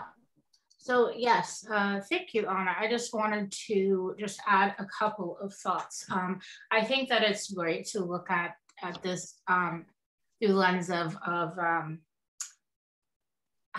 coming from a, a position of hiring though I also think that it's important as well to recognize that we are in fact talking about volunteers because mm-hmm. there is quite you know um, and but I I completely understand like the, the parallel and the expectation uh, as well as um, I'm sorry my thought is going right out of my head. I may need to, if if Mandy, you would go ahead and just give me a moment to just remember my train of thought just run out of my head and I'll go after. Thank you.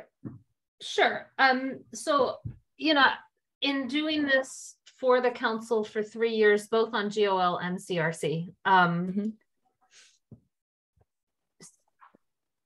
We as committees, um, every committee basically, um, and every appointment that we've done, has struggled with once the interviews are over how to talk about and narrow down the choices um, mm-hmm.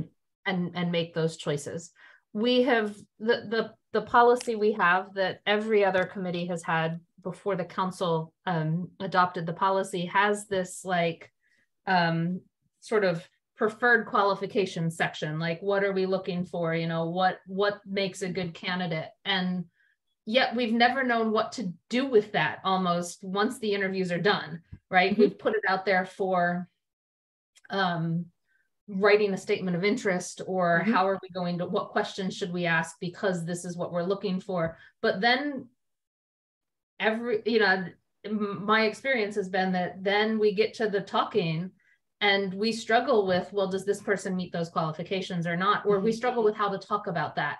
And so i you know and it's not always been clear. And i have been um, complicit in this too that we as committee members have gone back and actually looked at those standards that we gave everyone else and then made our own thinking about them before we get to the discussions. And so i i feel like something like this that if we're tasked with having to fill it out ourselves mm-hmm. um, or at least you know having that in front of us might give us a way to have those conversations or at least structure the conversations. At the same right. time, I do worry um, how do you, as Anna said, you know, there's been a difference of opinion as what is this political appointment or not? Mm-hmm. How do you factor that into this? And then the we still have problems always recruiting, especially for ZBA um, but you know not as not as severe with finance not as severe with planning but zba mm-hmm. for some reason which is our most quasi judicial body mm-hmm. um, how, how do we make this so that if we do all of this we don't scare everyone away yeah so I, in my sorry are you done yeah. Okay. So, uh, in my opinion, this shouldn't change anything for the folks who are applying for the roles. Um, nothing about using a, a matrix or um, in or a rubric should change anything about how they apply for these, um, unless you're going to totally revisit that. But I don't think it needs to. Um, what it does change is, is, and you hit the nail on the head, is it gives you a way to approach your conversation. Um, it doesn't mean, and, and I want to be very clear this is not a you average all the scores and pick the highest person. That's not what this is. Um, and so, you know, what it does do is it allows folks to say, okay, Mandy, you rated this person really, really high on, you know, related experience. Um, I rated them really low. Can you walk me through why you had a four and I had a one? And we can have that discussion. Um, it gives you a grounding. It also, you know, there may be times where you say, okay, ZBA has you know four professional planners on it right now. We're going to we're going to choose to prioritize uh, this other area which is engagement in the community or something like that. Um, and so you can look at it with that sort of that shared lens. When i say it doesn't take away the political end of this i just i don't part of me is not sure that we should take away the political right? Like we were elect part of the reason that we were elected is to make these appointments. And so um, i'm not going to suggest that we should get rid of all political aims because I also think that there are there are things that we each want for our town and, and our community and, and those might be different and that's okay um, but what it does do is it gets rid of the things that should be there for everyone right? So um, it's not going to ask, you know, I'm not going to say that you should put on your matrix uh, interest in building tall buildings. That should not be on your matrix, right? Um, we all have different feelings about that, and so I think that that's something that you can you can engage in and talk about. But um, for the things that should be commonly shared values or commonly shared attributes or whatever it is, um, that's what should be on the matrix. Does that? I, I feel like I danced around it a little bit. It's not going to solve some of the tough conversations we have to have. We will always have to have those, but it gives a ground, a jumping off point so that what we're getting at is the actual core of um, we have we have multiple qualified people. We have done what we can do to reduce bias in our interviewing and in our selection, and now we can also include the the elements that are um, that are personally important or politically important to us, uh, regardless of all of the other stuff. So it's, I'm going to go to Jennifer and then Anika, but I think what you're saying is it's a supplemental, it's a tool as, as yes. One of other ways that we might work through that process. Okay, yes. Jennifer. Um, yeah, no, I was just going to ask maybe at the, another meeting where we discuss this, if you could bring the rubrics you use, mm-hmm. you know, at, yeah, work, absolutely. I can do that. Yeah. And then the and other thing, yeah, this is getting a little in the weeds, but just like, you know, for, for what we do, it's, and this doesn't really it it's helpful to have i think people from one of the criteria might be people representing different parts of amherst. Mm-hmm. so that's you know a different kind of a qualification. Right. So one of the boxes may be you know considering the current makeup uh, this individual brings a different um, but so what I would say though is I wouldn't I, I, would say demographic I would not say perspective no, I was um, going to say geographic yeah, exactly yes. So so i think that that because those are two super different things. So um yes absolutely it could be that right? Like your board is entirely south amherst folks you got to pull someone from d1 or d2 um or, or like you would want to prioritize potentially prioritize that. And again i'm not saying which elements of your matrix should be prioritized but that would be part of your discussion as well. And are you, just to clarify that point, are you saying that perspective should not be included in a matrix? I think that's something that GOL could talk about, but that is such a um excuse me, subjective. Sorry, I'm having some asthma stuff this past week. that's such a subjective area that like I don't think you can really get into it. Um, yeah, it does. I, I do wonder though how we might be able to, to get that elephant out of the room in a way and and and talk about mm-hmm. it not in a way that's you know that that actually is a way of um injecting like life into the process mm-hmm. you know what i mean that like it's that we can talk about these things and that we're yeah know. i think what it allows you to do is remove it from someone's qualifications or experience um, in a way that I think might be helpful. So if you are looking at perspective, you're not entangling it with they believe this thing, but look, they're so professional at whatever job it is. So you're able to kind of tease it out and just center it in yeah. a way that might be helpful. Yeah. I agree. Yeah, I think so. Um, Anika and then Mandy. Uh, yes. Yeah, so just to um, to continue with what uh, both you, Michelle, and Anna had just said, I think it would also just be helpful that um, you know when talking about this to really just be clear on uh, you know definitions of, of what is diversity because you know not everyone feels the same as what that is and, and mm-hmm. recognizing mm-hmm. that we have uh, an incredibly, you know, most often an incredibly small pool, um, you know, uh, of applicants coming in. Um, you know, but does that mean that you just, you know, fill in wherever? Um, so I, I, definitely think that e even just looking at um, makeups, um, also just in terms of like also balance, experience, ideas, you know, and, and interest, because you know sometimes it is helpful you know as anna has has pointed out i mean someone may not have um, you know the direct experience but you know it's some you know it's they have they have interest or something that they can bring to the table that could even challenge um, folks that have had you know a great deal of experience. And um, you know this there's no solution but i think that you know, really just trying to expand because, you know, in just in my experience um, so far being council and here at committees, and I mean, the lack of diversity is is real. And oftentimes um, the definitions and what we're talking about within diversity is also uh, very limited you know? So i think for us to also um, provide space and open up for folks like you hear a lot about it's intimidating and it's intimidating and i'm sure there are people that it's intimidating for but also rec- you know in recognizing people that may be used to a uh, just a wider pool around diversity in terms of expectations and makeup, it's also exhausting. So some people will look and say, you know, I have the expertise. I have the experience. I know someone who is just interested and they could maybe add to this, but you know, I'm looking at the makeups and I'm not seeing diversity, you know. Um, I know what I'm walking, I feel anyway, I know what I'm walking into. I mean, I I definitely hear a lot of that. So I know that um I, you know, I really like this idea um, but I think that, you know, real, I think it's really important to kind of look, I think we assume a lot that when people are talking about diversity, that we're all on the same page with, you know, how we see that and what that means.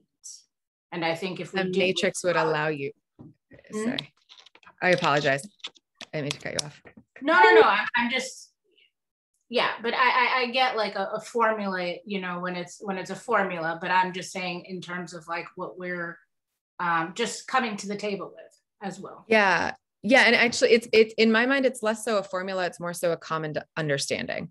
Um, because when you create your, you know, if you create a rubric, you'll have had the discussion of what does it mean to if if you know brings a different demographic or, or helps to support more representative um, volunteers on our boards if you decide on that everyone needs to be clear on what it means before you can kind of kind of determine where folks are at. So you know to your point then you you're having the discussion where you're not just looking at one dimension of diversity. Um, you're not just looking at, at one element and you're you, you're having a conversation where everyone's using the same um, grounding.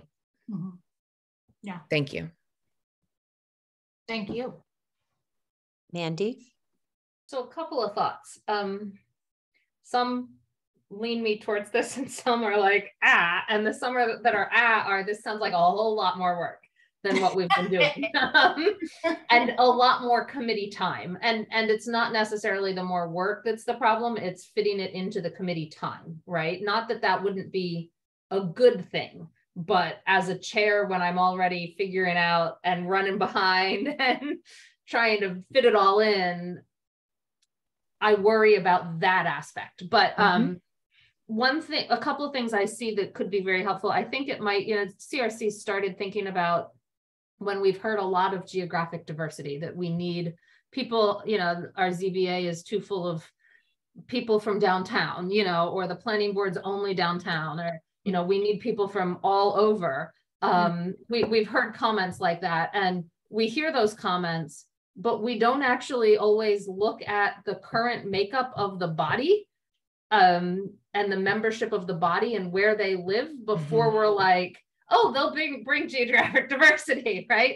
And and so I feel like some of this, if we had a rubric that said we'll bring geographic diversity, we'd actually have to define what that means based on who's remaining on the committee not mm-hmm. based on oh well we need one from each district we'd have to look you know and so some of that you know the age diversity and all of that we'd actually have to do that work ahead of time mm-hmm. look at it and and have that conversation that says you know who's remaining on? Where do they live? What are their ages? What are their genders? What are this? So what does diversity look like in the new candidates? Um you know yeah. and so but uh, two other things. So I also think it might be helpful if you've done that first and you distribute that rubric. Hey, candidates, this is what we're going to be filling out that mm-hmm. might actually help them with the SOI. You know, we've mm-hmm. we've had questions that say, give us your relevant experience. But if they don't know what we think is relevant, you know, we've had candidates apply for planning board that have served on ZBA and not mentioned it at all in an interview or an SOI. Mm-hmm. Um, and we're like, right. how that's totally relevant, right? Mm-hmm. Um, but maybe they didn't think it was. Um, and so that might help them know what we're looking for my one other big concern is in terms of would this put people out from applying is if we fill, if each of the CRC members or each of the GOL members fills this out, are those now public records? And I think we need an attorney opinion on that. Um, you Yeah. know, if we're actually, if I'm taking that rubric Yeah. and I as Mandy CRC appointing committee person, you know, on the recommending committee, putting numbers down for each So- candidate, do do those evaluations become public records or not? Because if they do, I worry that that might scare people away from applying. Yeah. the way I would think about it is uh, I am assuming that when you interview people, you have the questions printed out and some of you take notes. Um, those notes are not public. So I think that I guess it depends on how you present it. Saying that we are we are using a rubric might mean that you have it in front of you. If you happen to write stuff in it, that's fine. Um, what's what gets challenging is that the best practice is to use the same scale. So um, you know, I guess as long as you've got that, I'm, I'm picturing the doc like a document in my head, right? And it says, you know, this is the rubric consider it on a one to four scale um I, my my my like waiting for athena to, to call me out on this is that like I, I don't i think it seems like personal notes. I think that it gives you a grounding for the conversation.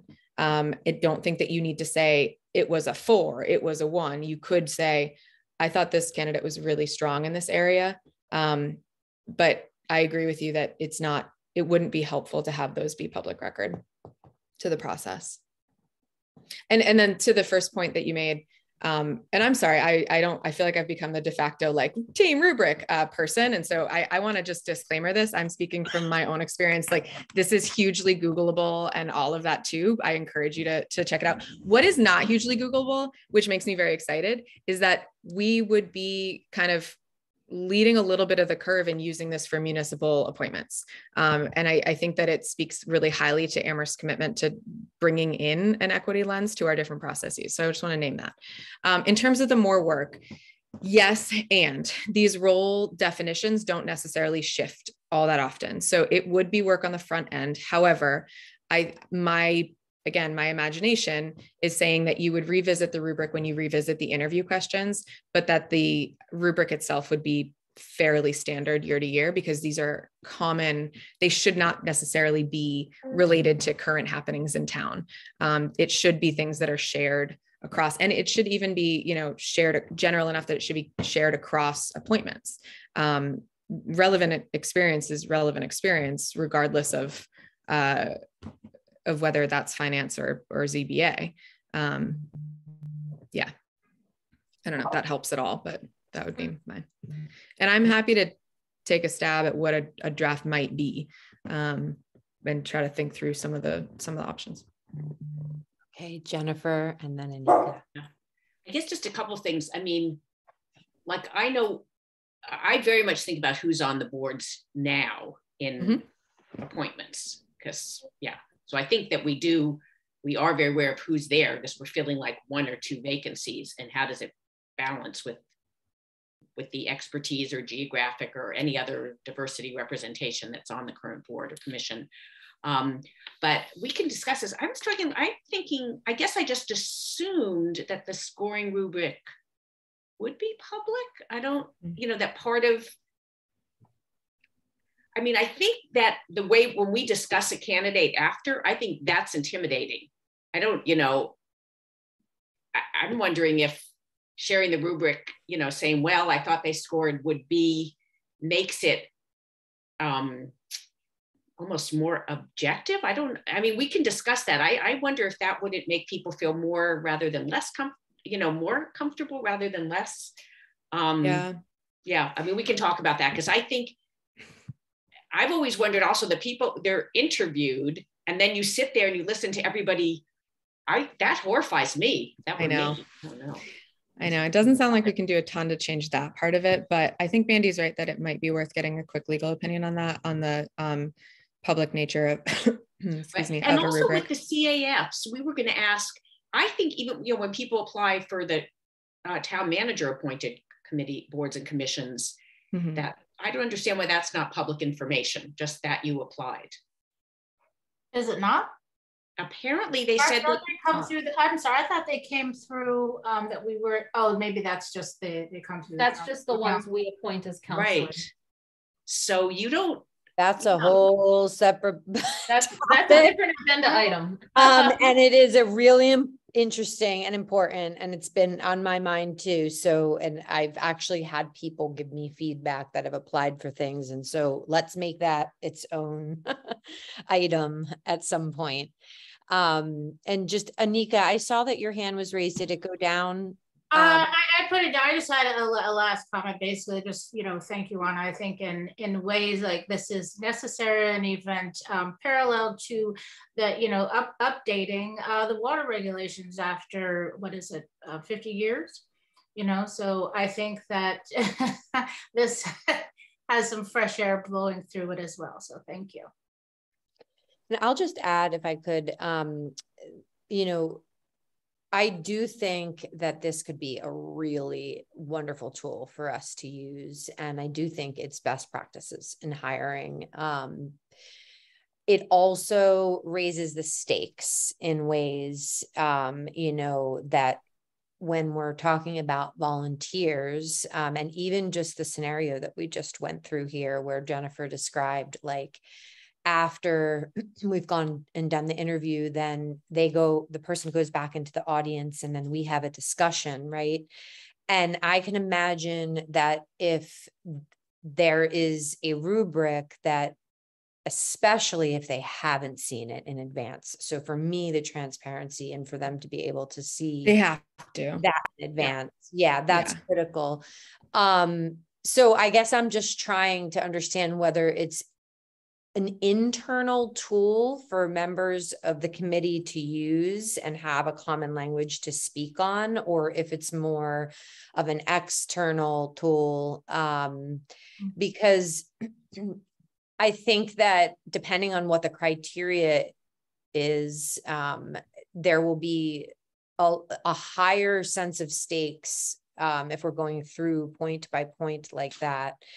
Um, and I just wonder how the public and the people who are considering applying for these positions might feel um, about that process. Mhm. Like feels a lot more serious in a way. It does, but it also lends a, a really concrete sense of consistency across the interviews. Um, Yeah, I think yeah. that there's also something to be said for, oh, they talked about this candidate for an hour. They only talked about me for five minutes. You know, like I think because there's not necessarily a set approach, and that's not to say they're, I'm not saying they're going to take the exact amount of time, but um, this at least it gives every single person the same grounding in a way that interview questions don't, right? I'm, I know you're asking the same questions. However, um, this is much, it takes out some of that. um some of that bias, right? So when we think about the different types of bias, we've got um, we've got affinity bias. So we people who are similar to us in their beliefs. We have perception bias, so things we believe about other groups based on how they show up. Um, the the halo effect. So I'm, I was looking this up this morning when I was practicing. So I don't just uh, know all of these perfectly, but um, halo effect is like when you say, "Oh, well, you're." It, it would be me saying, "Oh, well, you're from South Amherst, so you must be wonderful because you're from my district, right?" Um, and then confirmation bias, which is looking to conform our own pre-existing ideas.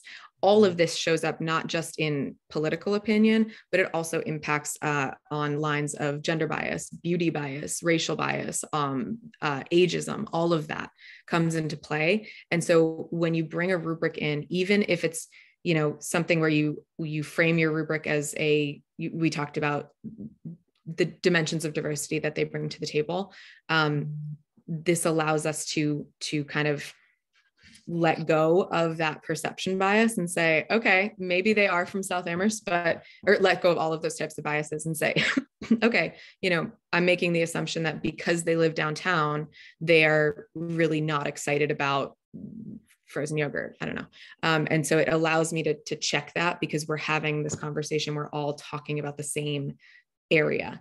Um, and we can kind of without calling people out on their identities and things like that we're talking about why it matters to us.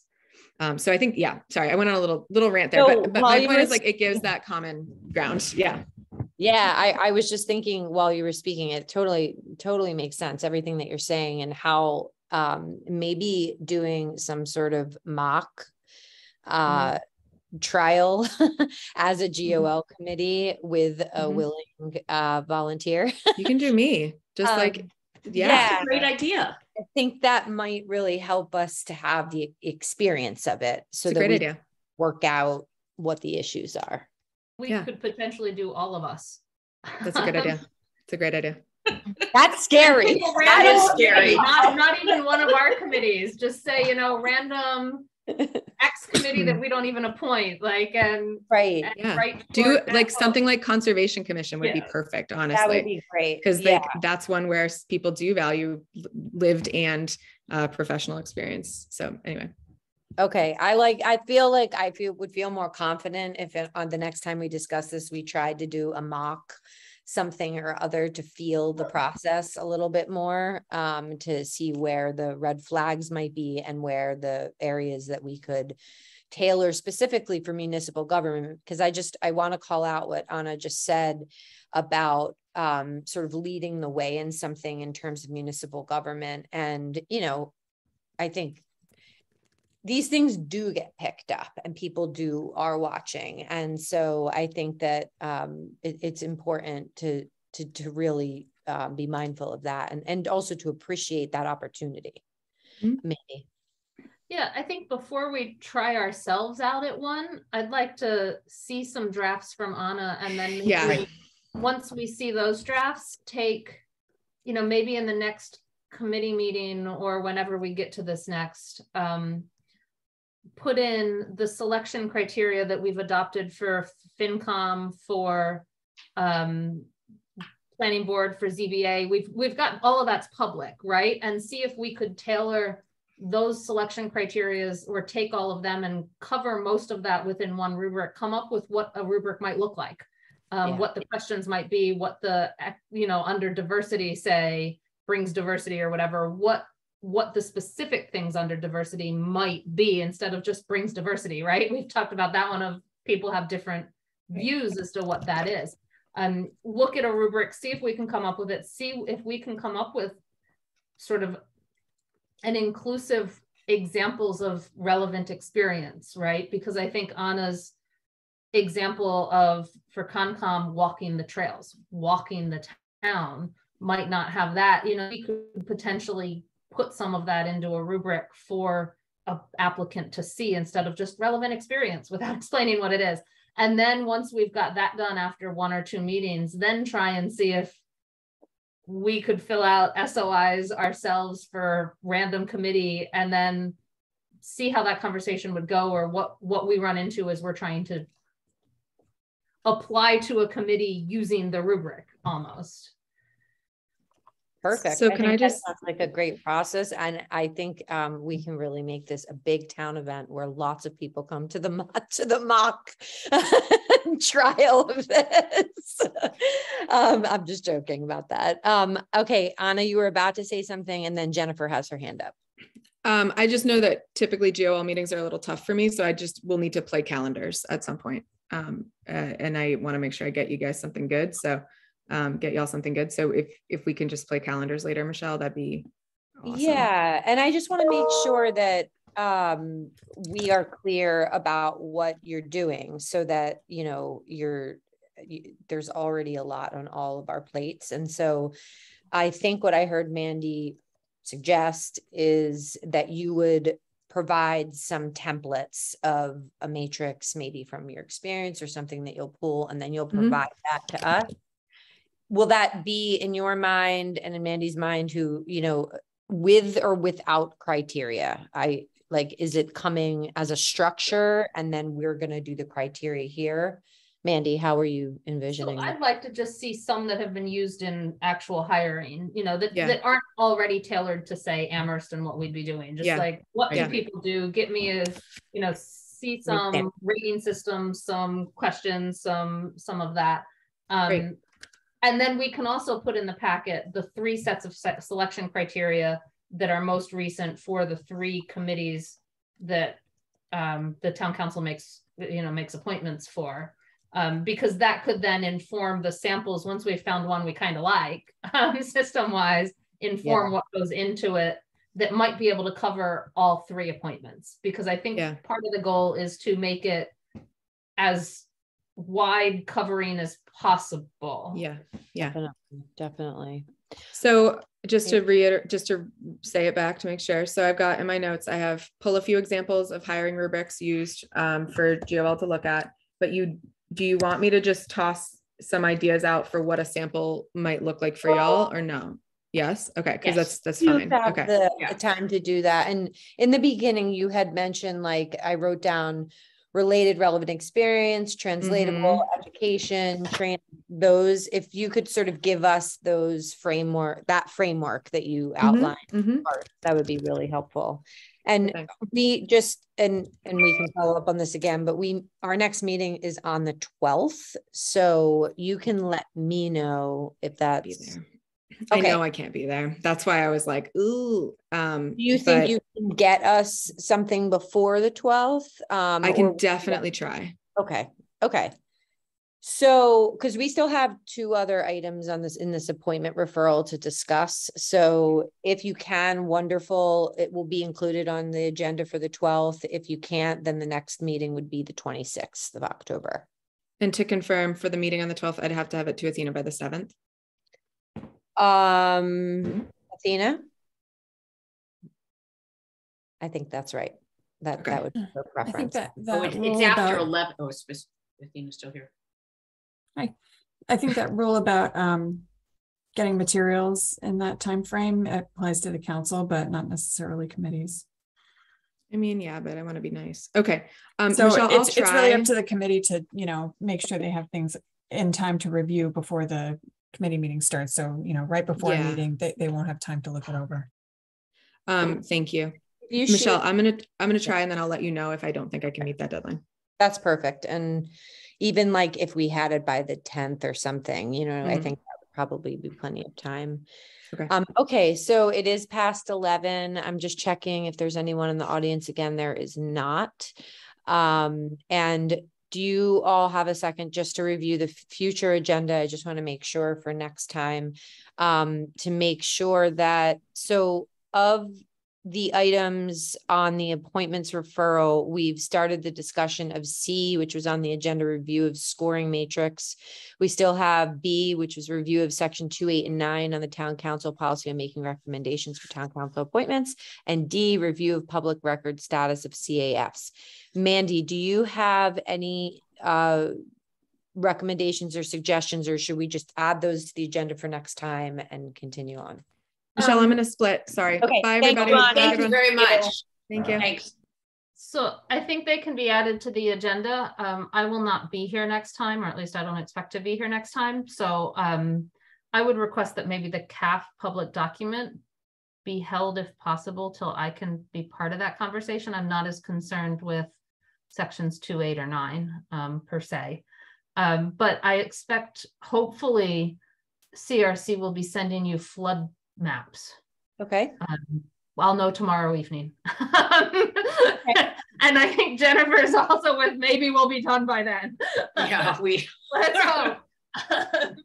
Let's And hope so- we can finish it tomorrow. And so that, I don't know whether that'll take a lot or a little time, but, but as a CRC chair, I would ask that C, uh, GOL get done with that as soon as it can, because it Okay. actually has a true deadline.